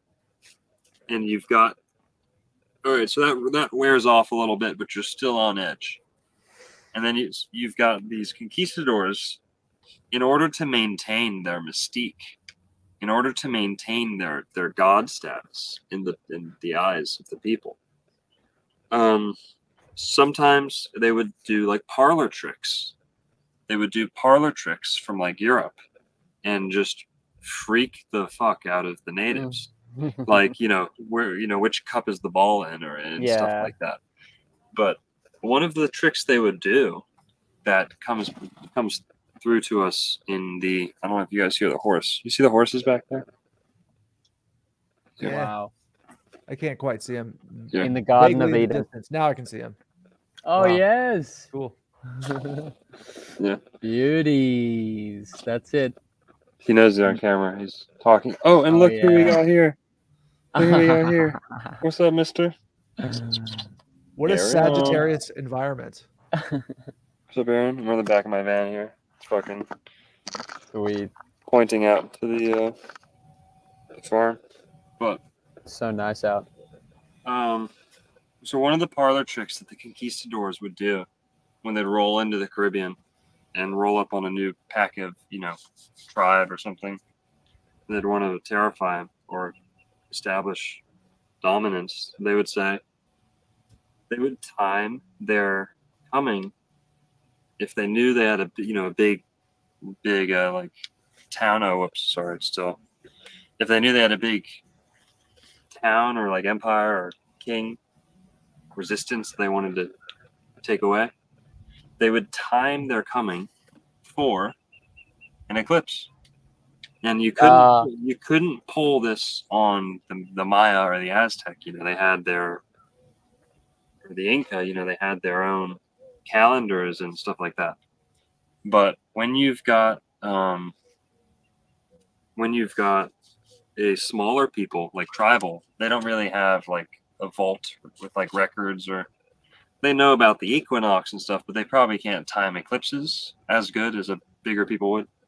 So they'd come in, the Spanish, the conquistadors, and they would say, the leader would go up to their leader and say, Hey, you know, turn over the keys, basically. Let us take over the village. You know, you, you can stay leader, but we're going to run the show, and we've got some things we want to do on this part of town. And just stay out of our way and, you know, show us support if we need it, if we're fighting someone else. That would usually be their pitch. Starting off, you know, I'm not saying they were good guys or anything, but they wanted to work things out to, get, you know, have a foothold somewhere they'd never been before. So they'd go up to these tribal leaders and say, "Hey, you know, bend the knee, and we'll mm-hmm. be we'll be good to go." If they showed resistance, if they said, "You know, fuck you guys, we don't think you're gods, we don't think you're anything better than us, we don't think you're anything," they'd say, "Okay, we'll be back, and when we come back, we're gonna take your son, Mm. and we will prove to you that we are agents of the divine." Wow. and they would come back to that tribe right before eclipse. a solar eclipse and they had they had the records and they would come and they would say they'd give another warning okay Last chance. three days from now i will take your son we will take your son away. Or or, or they wouldn't give the final warning whatever. They're just eclipse and then boom they'd show up right after the eclipse again and say okay we showed you. Sky darkened. The you know the world dimmed. Everyone freaked out. The women screamed. Um very superstitious. And they'd come back after the eclipse and say hey we sorry fucking bugs. Um we're going to take your son away again. We did that. Our magic did that. And if you don't bend the knee we're going to take it for even longer. We took it for what in you know an hour? We'll take it for a whole day next time. Don't te- don't test us. And for people who's like super dependent on the crop and the yield and you know direct living with nature you'd be terrified Yeah. and this was a big time parlor trick that they would pull and you could only pull it you know on you couldn't pull it to the same to two people next door two weeks from each other but you could pull it on a big enemy that you wanted to terrify if you were confident they didn't have you know the uh, most experienced astrologers you knew that you could uh, pull one over on them that's what they'd do. There's recorded instances of that. I forget the names, but you can look it up. Um, Mhm. Also, the Zulu, or one of the Zulu-related tribes, uh, massacred a whole British fort during an eclipse. Um, one of the bloodiest encounters, the deadliest in single battle in British military Mm. history, was uh, was this uh, African tribe massacred them on a, uh, eclipse. solar Eclipse. And, and Yeah. the film Zulu with Michael Caine is fake news. I only just found this out recently. I used to love. It's a great movie, but it's so like well, British did it with guns and machinery. Uh, it's it's a propaganda film where they actually lost, and um, yeah, they were they were massacred by the the Zulu hordes. But in order to save face, they just made that movie where they actually won and they shot them all and all that kind of stuff. So yeah. yeah, So, guys, we talked about that's just one little, you know, that's the parlor trick they're pulling on us right now. yeah. We're we're the villagers who don't know any better, and yes, we know this eclipse is coming up, but they're using that superstition. They're using it. We're all anticipating this. Oh, oh, you know, it's all good. You know, what greater marker is there that something's happening than the sun being blotted out? and Mm. they're going to use that all the superstition surrounding it but then you know that's the end of that. That's as Yeah. much as we'll we'll say to that. I really just want to sum up my original point. No one cares. God doesn't care. Any lesser evil deities that they might be appeasing by doing this are just little like karmic loan sharks that god mm-hmm. allows to operate under him because he literally doesn't care and is not threatened at all by their weak, shallow domain, you know, on Earth. So we talked about how the eclipses happen twice a year. Um, no one cares about this one. It's just like the next two eclipses will be, and over and over. Well, there's even a better point here. The horses love being on camera. They never make this much noise. Um, there's another point here. The eclipses, not that special. Two a year. Both of them are going over Texas, by the way, not Israel. But then let's talk about the sacrifices themselves. We can't really hear the horses. It's a, That's okay. He's Yeah. just sneezing. sneezing. right? You've got why are these four cows any more sacred than any other cow? They're not. And even if you wanted to soak up that that um you know eclipse juice, they they're not even going to be in Texas for the eclipse. They're already in Israel. If you're trying to like soak up that X spot on the map, you've already missed out on that. And I don't think they'll do do anything anyway. But then also, you know, elephant in the room, guys, red heifer in the room. And our, we already kind of mentioned it with the Arby's sandwich, with the Burger Burger Burger King, uh, you know, uh, sacrifice, Burger King, uh, false flag, false religious event. Yeah. Well, let's just do the math on this. So there's two and a half eclipses every year. Well, how many cows get slaughtered every year? Well, it's about a million. About a million cows every year are Mm. slaughtered. And no one bats an eye. God doesn't, you know, return the Messiah. He also doesn't, you know, flood the planet. So Mm. it's, you know, either way you look at it, it's not a triggering event. Cows are slaughtered every day. Sorry, a million every day. Sorry, did I say every year? A million cows Every are slaughtered day? every day. Oh no, just wait, Jimmy. I was shocked to see how low that was. A million cows Oh. every day are slaughtered. So who the fuck cares about four ginger ones in a dry dust ball of a country that is not going to change at all just from this happening? And I, hey, I'm very sorry for the Muslims who are going to have to, you know, set up shop somewhere else and stuff like that. I don't like that at all. But in terms of it giving Judaism power, it won't. It's not going to bring the new Messiah any more than an Arby's sandwich will. But Mhm. 1 million cows a day, that's not even going to be a drop in the pond. Not even a drop in the pool. Not even a drop in the kiddie pool. That's like, you know, and Nothing. and and and it also what I just recently found yesterday was that there was articles coming out in the Guardian and and different um, uh, Israeli papers about um, a crowdfunding um, attempt to um, genetically modify cows to make them fully red because the so the scriptural reference people probably know I, I can pull it up here it's it's saying that um, a heifer. So this is in the Bible. This is this is what they're basing the whole thing on. It's saying the, the prophecy, the prophecy of the temple being rebuilt. Uh, a heifer had to not only be without spot, where wherein is no blemish, and upon which never came yoke. So it's never been yoked. So it's, it's never um, like pulled a, a plow or something.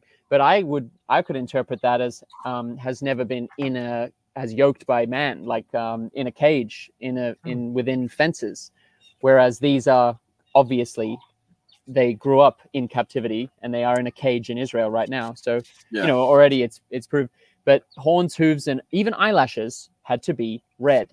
Now I see this as a kind of like, look, yeah, you can build the temple when pigs fly, when hell freezes over, because this is pretty much impossible So without. Jimmy, So it's Such a good point because the philosopher's stone, I believe, is red, and the reason why that's so significant is because it can't be replicated naturally in nature. Ah, So, so what they're saying here is, I'm in agreement with you. They they want this cow to be almost GMO. It seems. yeah, Alright, well, it, little there's GMO guys. We're having an impossible meat sacrifice yeah, going Yeah. on here. Okay, yeah. it's an impossible burger charade. It's a It's GMO fake, plant-based factory GMO plant fake eclipse cow, Yeah, it's preposterous.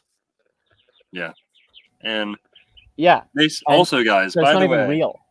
The big takeaway here, uh, which we should have started with this, but you know, I get, I I'm not looking at my notes. Um, what does sacrifice mean?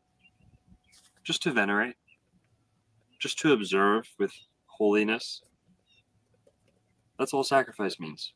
So uh, the burnt offering, you're not killing incense when you light incense, are you? No. So one could even make the argument, and it's a strong argument very strong argument that sacrifice has nothing to do with slaughtering. Sacrifice has to do with veneration. So the cow, look at how they do they slaughter cows in India? No. They Mhm. venerate them. That's sacrifice. Take a take an hour out of your day and you know, hang out with the cow. As stupid as it sounds, hanging out with your cat teaches you a whole you know avenue of things about life. Hanging out with your dog teaches you a whole you know set of things principles. Hanging out with a cow observing cows meditating on the image of a cow meditating in the presence of a cow. All these things bring about wisdom a certain type of wisdom.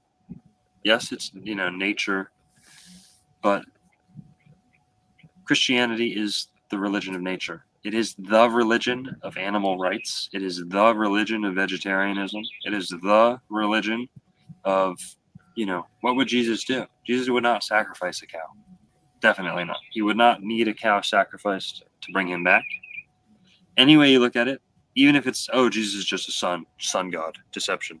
Okay, well what's a what's a cow sacrificed gonna do change for the sun? Nothing.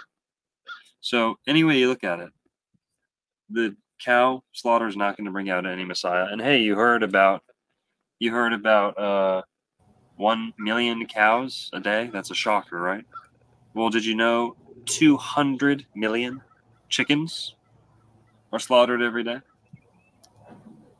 yeah 200 Two million hundred. That's 200 unfathomable. million chickens slaughtered every day.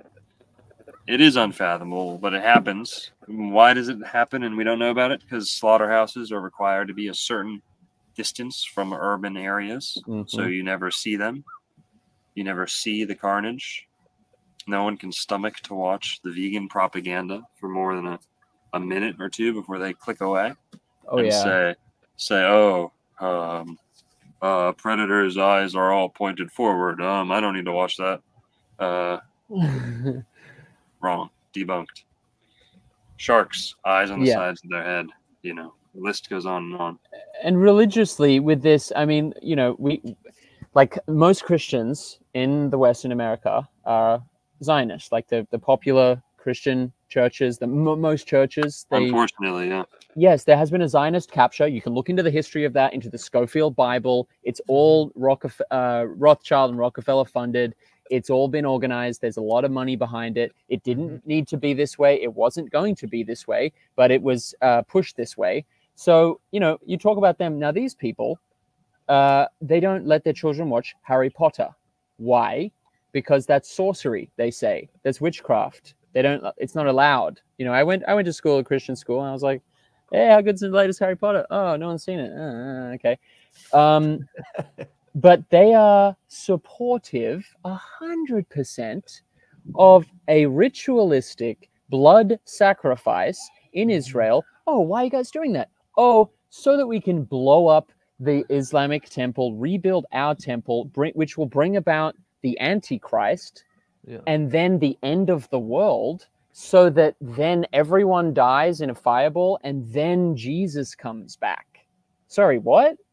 That's yeah. literally what they believe. And I didn't know about this. Whitney Webb has been writing about this, brilliant journalist. She's been writing about uh, three massive articles about the um, the Temple Institute and the the Dome on the Rock, al-Aqsa um, agenda to rebuild the third temple, and the support of American Zionist Christian money and and uh, religion is the only way that it's possible. It's the only way that they're allow- uh, it's uh, happening. the Christian Zionist thing has been blowing my mind for like the last Yeah. six months because it's such Yeah. a bizarre, like simple trick where Israel in the Bible is the house of God. Okay. Anywhere where people are meeting with the anywhere can be the house of God, really, in nature.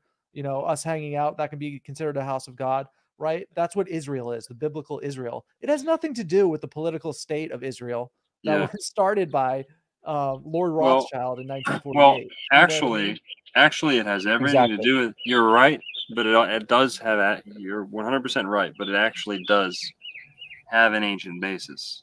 Did you know that the greeks have a myth? Ancient greeks you know people of the mediterraneans have like myths prophecies about israel.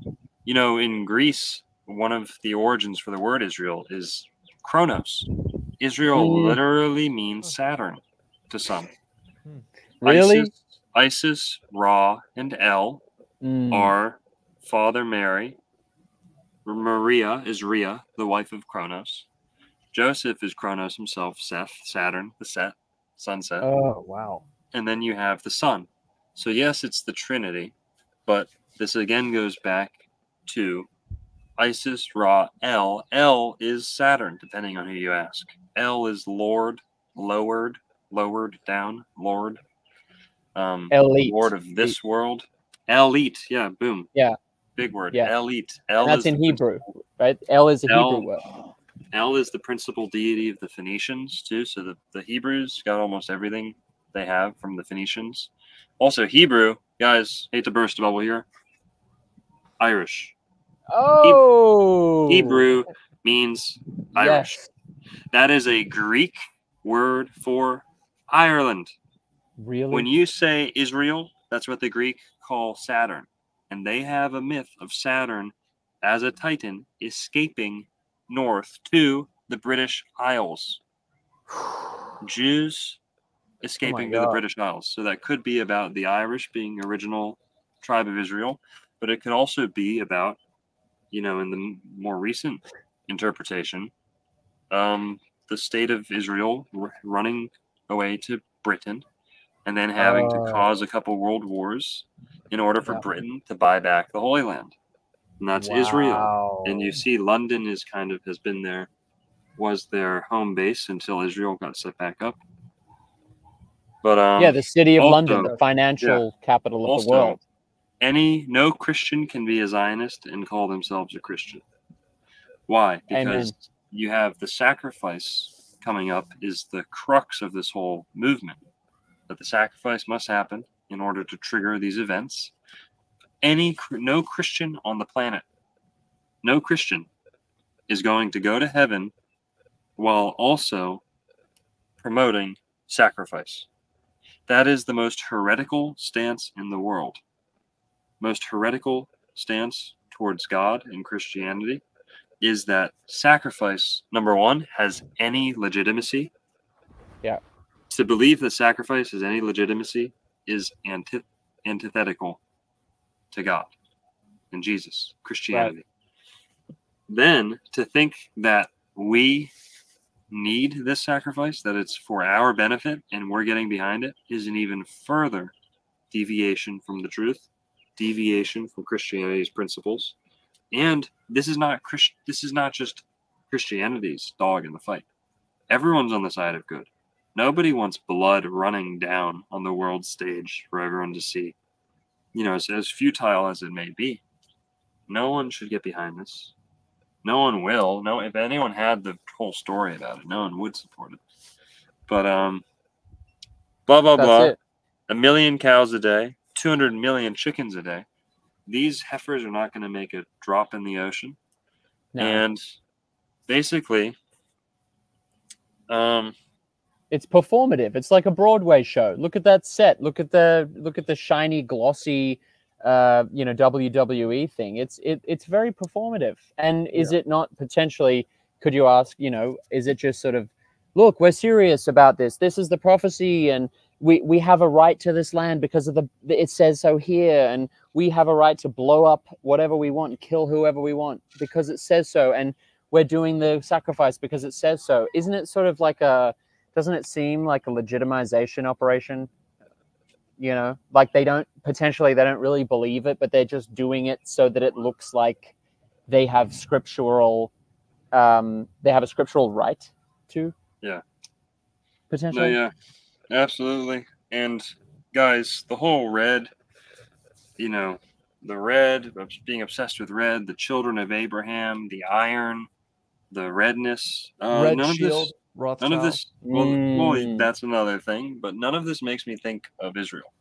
Mhm. Makes me think of Ireland, the Mhm. redheaded people, oh the yeah rosy ones. Okay. Why are they God's chosen? Oh, I don't know. Maybe because they've never colonized another people. yeah We're Ir- seeing- Ireland. We're seeing that play The- out True. right now. The least guilty people in the Yeah. planet of colonization. Oh, they migrate, and when they migrate, they dominate. But they don't. They don't colonize in the way that other nations did. Finland, much the same. So, what you're seeing is when I think of God's chosen people, do I look towards smug? Do I look for smugness? Do I look for arrogance? Do I look for, you know, a dependence on sin transferring, endless sin Mhm. transferring? Like, is that what God's chosen people do? Deposit their sins into blood sacrifice, like Mhm. day Why- in and day out? maybe like, just don't stop sin. sinning. stop Yeah. sinning. You know. Um, also, Jesus says everyone can be like Jesus and strive towards perfection and be without sin. So whenever you walk into a church and they tell you you're a sinner and you're nothing and you're just a worthless wretch, you're just a worm, you know, uh, demonic antenna that is just like an a- alcoholic at AA. Oh, it's not my fault. I have a disease. I'm riddled with demons and I'm a sin Mm, and I am just a wretch who can do nothing and steer my destiny in any direction. You know, I, I can't. That's false. You can strive to perfection. You, Yeah. you- by the way, if you lock yourself in a room and only eat oranges all day long, you can live a life free of sin. Now, can you live a life free of sin outside the modern world? Well, try. Go for it. Try, you know? Why would anyone say, oh, we're only sinners, we can only sin? And that's the AA victim mindset. It's an One million percent. If you're in one of these sin confessional churches, you're in a glorified AA class, Mhm. literally. Um, It's an Okay. excuse why why you won't try harder. Oh, I can't because uh, it's I'm it's already it's already wasted for me. It's already Yeah. ruined. I'm ruined already. You know, it's an speaking- excuse. It's lazy. speaking of the connection between AA and God and Catholicism, brings us right back to the Irish, right? Well, the Irish battle most with Catholicism, you could say, and ba- not battle most. They, you know, adopted it, but they battle with alcoholism a ton. And you see the same kind of victim tactic being pulled on people in both of those institutions, like AA and Catholicism, is the guilt tripping, endless, endless guilt tripping Oh yeah, big time. And things like that. But blah blah blah. When I, I was talking about red Hibernia, you know, the word Heb. You ever hear someone call a Jew a Heb? Yeah. Mhm. That comes from Hebrew or Heber. Hebrew comes from Hyber. Heber. That's ancient Greek for Irish. This is not some fringe conspiracy theory. Wow. Go look this up, guys. This okay. Who who are the three people? The three progenitors of the Semitic people in the Old Testament: Scythians, Assyrians, and Sumerians. And you could say the Sumerians and Assyrians are almost the same. So you've got Sumer, Assyria, and the Scythians. Okay. Su Sumeria, Suomi, Finnish, Finish. Phoenicians. Boom. Okay. Those are Norse. Those are Norse people. Big beards, big hats, dressed like Santa Claus, coming in and rewriting the whole script in the Mediterranean. Assyrians. What are the the Norse gods were known as? The Asur, the Asir, Asur, Assyrians. Okay. Then you have so Suomi, Sumeria. Sumeria. Both of those places are swampy, and that's where they get those names. Sumi, Suomi. Yes. Hmm. Hmm. Sumeria, Suomi, they're Finnish. The Phoenicians are Finnish too. Who who were the Phoenicians? Or who you know, where did the Hebrew alphabet come from? Phoenician. Phoenician looks like runes. It's obviously runes from the north. So we're gonna find here there's no such thing as Semitic people in the sense that we think. They're really just a colony of northerners. And over time they made some of them made their way back north, but that's where those big beard growing genetics come from that you see all over the Mediterranean. The hairiest people on the planet, you know, in facial hair, are Mediterraneans and Northerners, Norse, mm-hmm. the Vikings, the barbarians, the beards. There's barbarians in North Africa, Barbary Coast, and then there's barbarians in Germany and Scandinavia. Okay. Wow. Well, the Hiberia, Hibernia, we're going to see here that all of this Phoenician territory and Phoenician, you know, rewrite of history or rewriting history about the Phoenicians points to the Irish and the Scottish and the Celts and the Gauls being the original Phoenicians, the original Israelites, the original Hebrews. So, what you've got is the Greeks. The Greek word for Ireland is Hibernia. Hibernians, the Heber, Hiber. Now that's kind of similar to Hy- uh, Hyperborea. Hyperborea was Finland. Hyperborea was Finland. Pytheas went to Scandinavia and wrote a lot of this down. But Hibernian means Irish, but it was also applied to people in Spain. Why? Because Spain used to be essentially Irish until the Muslims went through. That was all Iberia. I- eh, bingo. Iberia is the same word as Hebrew. That's why you have your Sephardic Jews. Ah, wow. Biggest two biggest portions of Jews, you know, Sephardic and Ashkenazi, and And- you know you mhm. can you can say, oh well, they this people converted. We're going to be talking about that another time. Whole whole conversation for another day. But as to who's the real this or real that, but in terms of the words and the names, Hebrew means Celtic, and Iberia is an extension of that. You had Hibernia was Ireland itself. Then Iberia is uh, Spain and parts of France, you know, the Iberian Peninsula. That's the same word as Hebrew. And Gibraltar is the Hebrew altar, the threshold from Mediterranean to the Atlantic, the port to Gaul, Portugal. to Gaul. Portugal Uh, is where you'd leave the Mediterranean and make your way around the Spanish and French Portuguese coast up towards the British Isles to where the Phoenicians were actually from, where they actually had their big, large territories with plenty of wood to build ships and plenty of pine trees and you know land for cattle to supply them and stuff when they're leave when they're making voyages. They they the Phoenicians blockaded the entrance to the Mediterranean for you know a thousand years, if not more. You know, some uh, some breaks in that timeline, but they controlled the Mediterranean for a thousand years, if not a lot more than that. And they were there when Greece came about. They were there when Rome came about. They expand the Phoenician Empire, if you can even call it that, Carthaginian. You know, um, encompassed the Greek and the Roman empires. They saw their fall in the Roman em- against the Roman Empire, you know, with Hannibal and all that. But leading up to that, they ran the show. They Mhm. blockaded the the Mediterranean. So there's only one way out through, you know, right there by Morocco and Portugal. And you have to squeeze through a narrow strip of, of water. And if you blockade that, you control that. And Yeah. Mhm. anyone who lives in that little sandbox is not really going to know much outside of that sandbox, no matter how great they are. So the Greeks, you know, the Romans, they didn't have a clear picture of mm, North Europe and the Irish and Scottish until that blockade was removed and the Phoenicians were out of the way.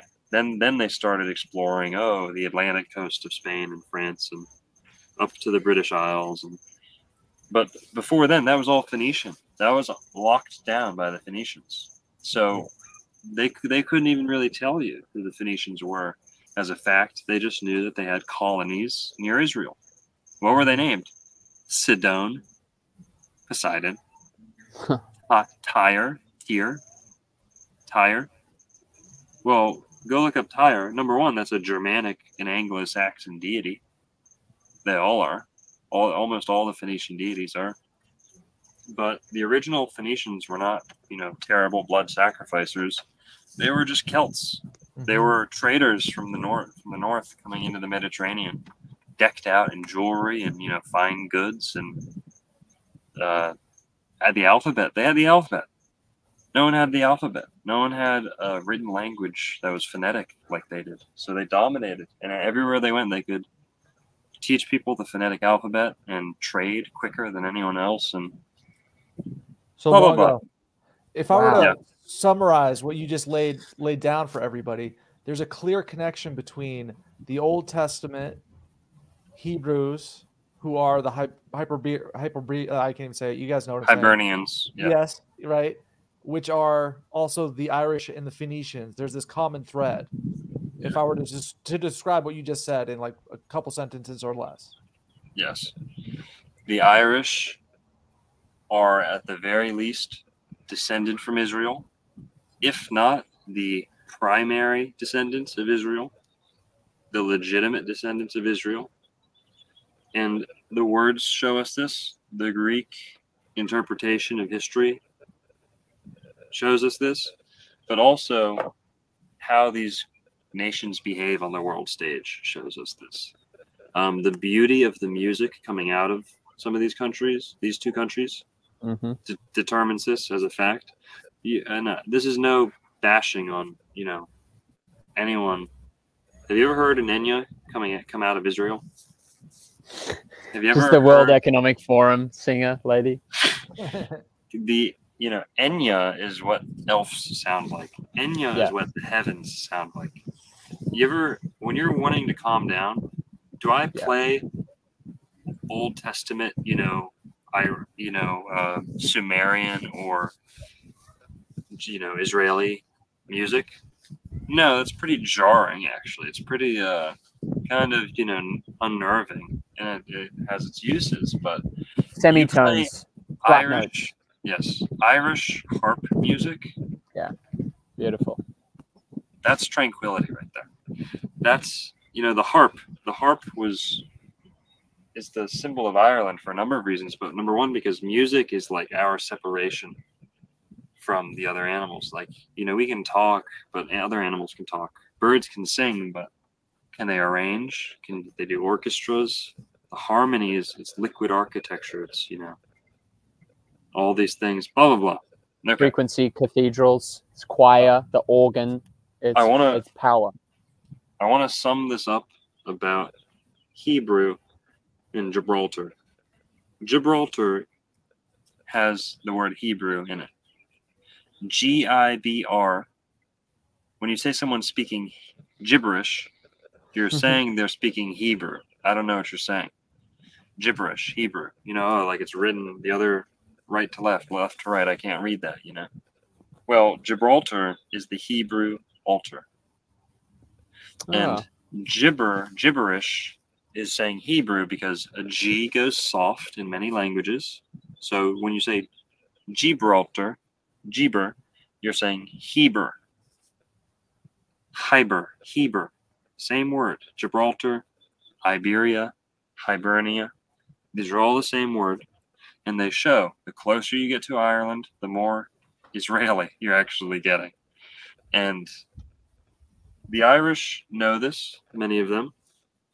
The Scottish know this, many of them. Scotland's the only country in the world that's never persecuted the Jews. Now that's that's you know for different reasons than the ADL is you know operating for. That's it's not the same approach, but there's something to this with the tribes, the houses of Israel residing in the British Isles in ancient times and more recently. You have your, you know, certain families returning there. But Mm. the whole thing is confirmed in books like Irish Wisdom Preserved in the Bible and Pyramids, Conor MacDari. Um, there's a whole, you know, you got your Hebrides up there in Ireland too, near Hebrides. Ireland. Hebrides. You have your Faroe Islands, Faroe, Faroe. You've got uh, the Jacobites in Scotland. All these things. Um, you know, is common in ancient uh, Mesopotamian kingdoms to find a large amount of hermaphrodites or cross-dressing too, believe it or not. And what did they make the Scottish start doing as a cultural trend? Dressing in skirts. Sorry, Scottish people, there's nothing cool about dressing in a skirt. Ah, That's literally a pullover. That's a that's a rabbi. That's a rabbi trick that they did. it's breezy. Um, no, it's just girls dressing. It's just men dressing up like girls. Ah. Um, but yeah. So let's see if there's anything else here. That's all I. That's all I had written down.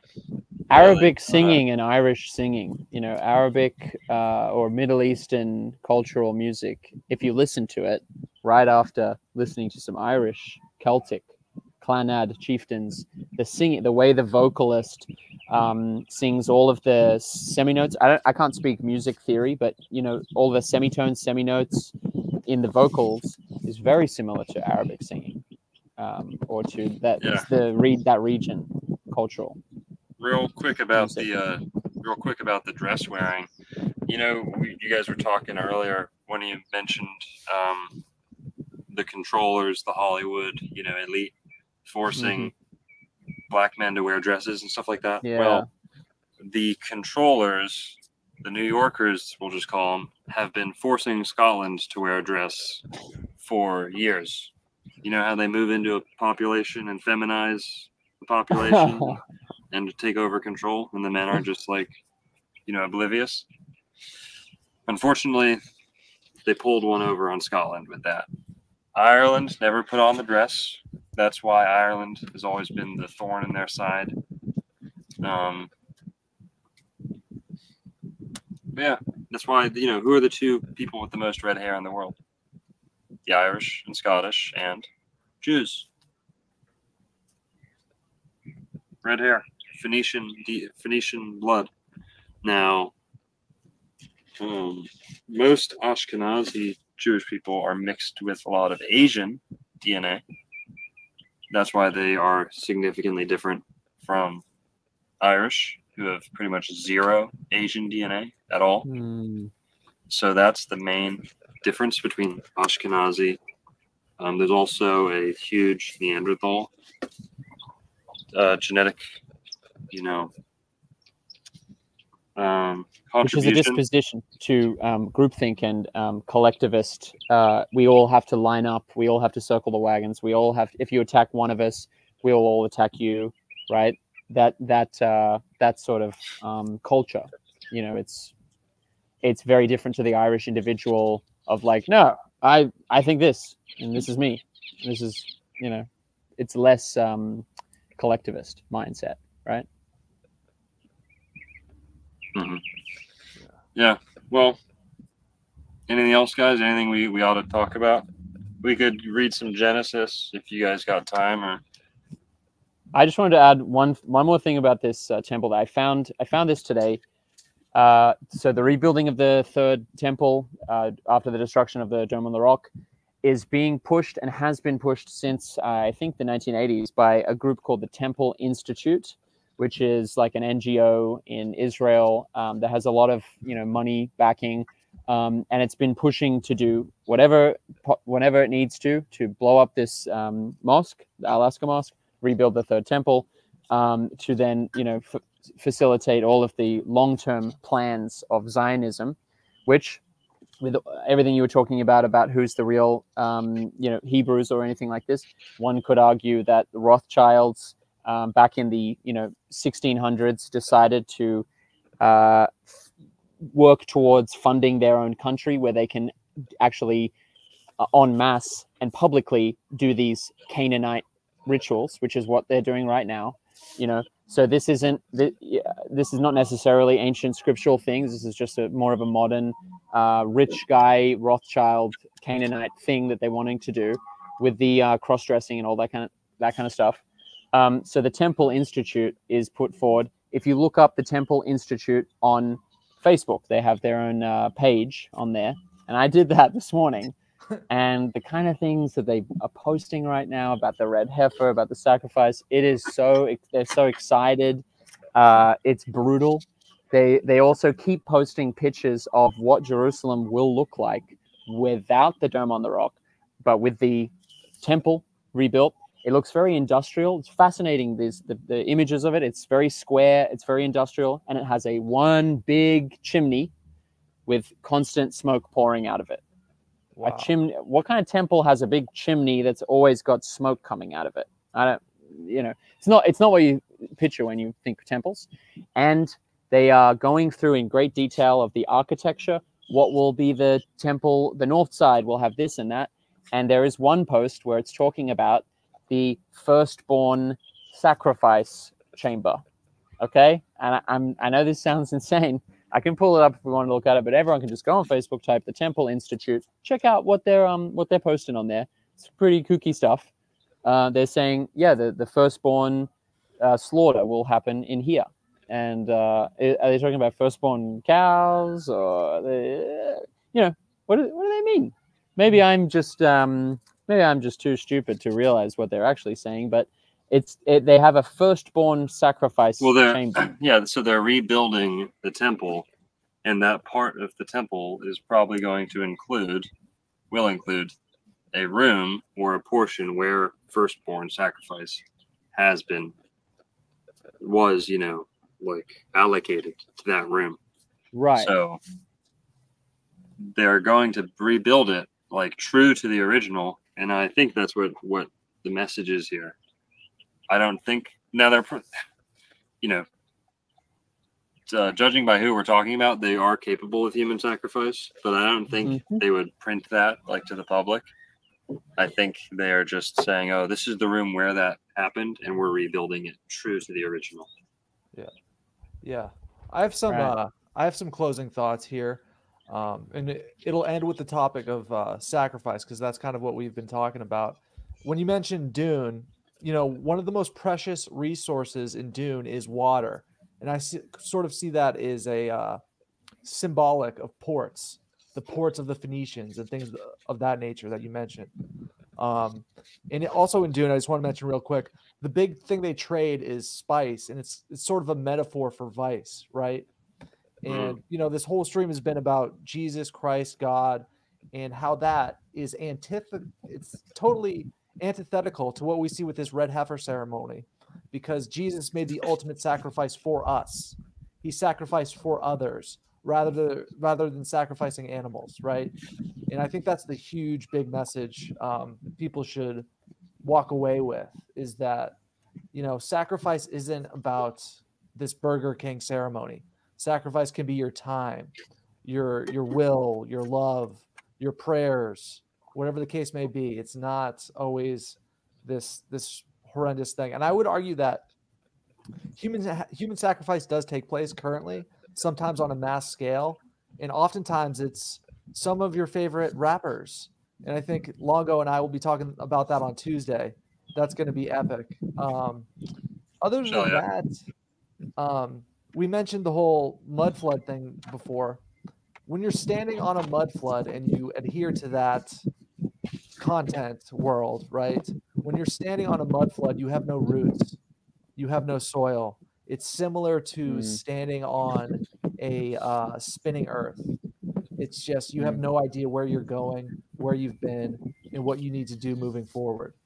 Um, so yeah, those are kind of my closing thoughts. But yeah, I'm down to hang out and just talk about whatever you guys want to talk about. Is war not a human sacrifice? It's massive. huge, When huge has there been a great? Oh, thank goodness we had that huge war, right? and and and all these millions of people, these these young boys, these teenagers were sent out. You know, World War One, World War Two, both Christians. You know, in the trenches, and they they play they play soccer, play football on Christmas Day, and then because because they did that and they they became friends with each other and showed pictures of each other's girlfriends, they were all shot by the officers.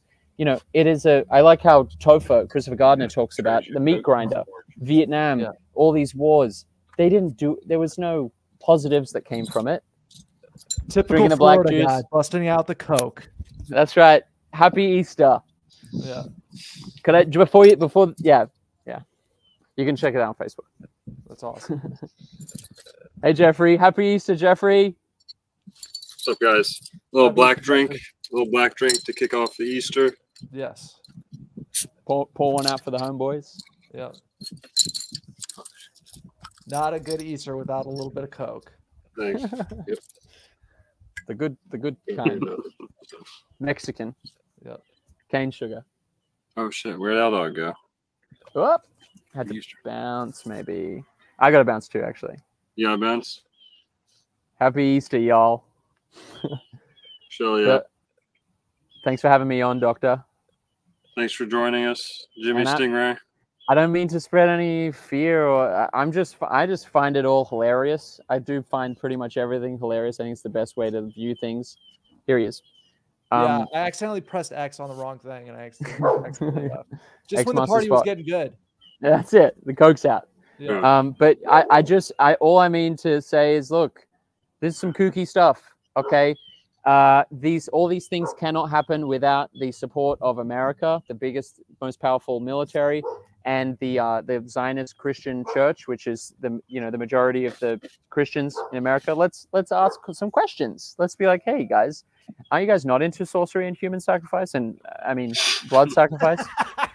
Are you guys like into uh, love and uh, Mhm. peace, right? Because that's what I'm into, in, and enjoyment and celebration and food and and beauty and you know, the sun, brightness.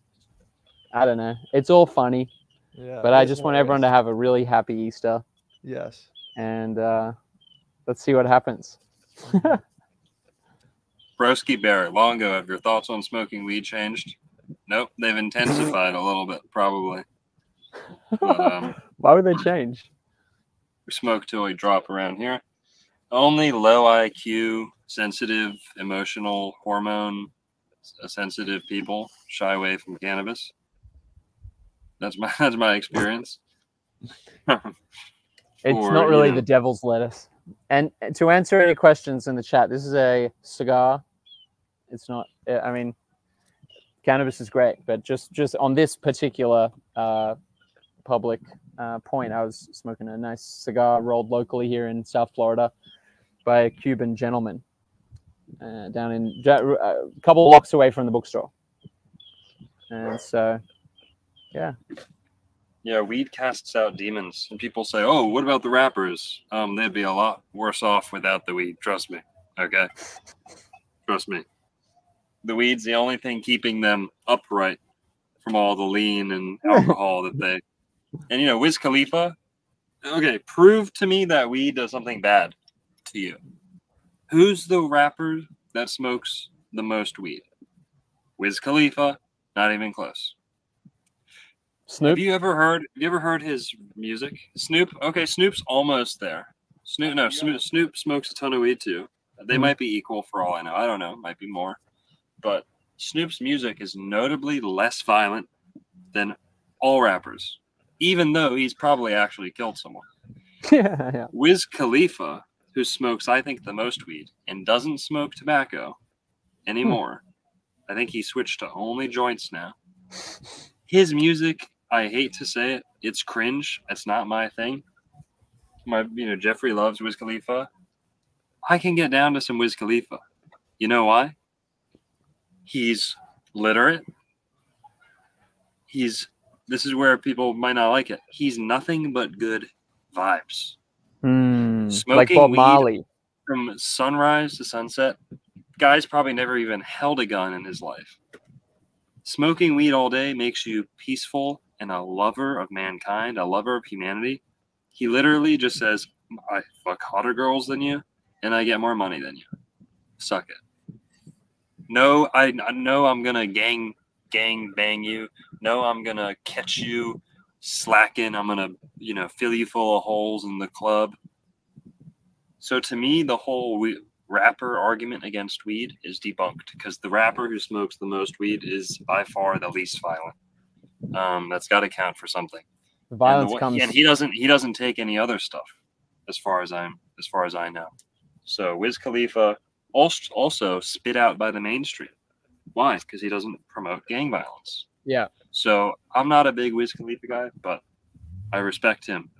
He's the number one rapper in the world, as far as I'm concerned, because he doesn't talk about shooting, killing people, which is That- cool. I listen to shooting and killing people music too. That stuff's also good. But Comes from the producers, though, doesn't it? Not from Yeah. the weed. Anyway, you guys have a great rest of your Easter. Yep. I'll see you, Jimmy. peace. Latest. Happy Easter. All right, Longo. Happy Easter, man. It seems like you're in a cool location. It's like a farm. Looks awesome. It's completely Sagittarian where you're at. It's like the horses, the open space, and the van. So pretty cool. Yep.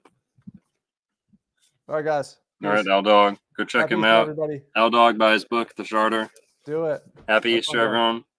See you guys Tuesday. Peace.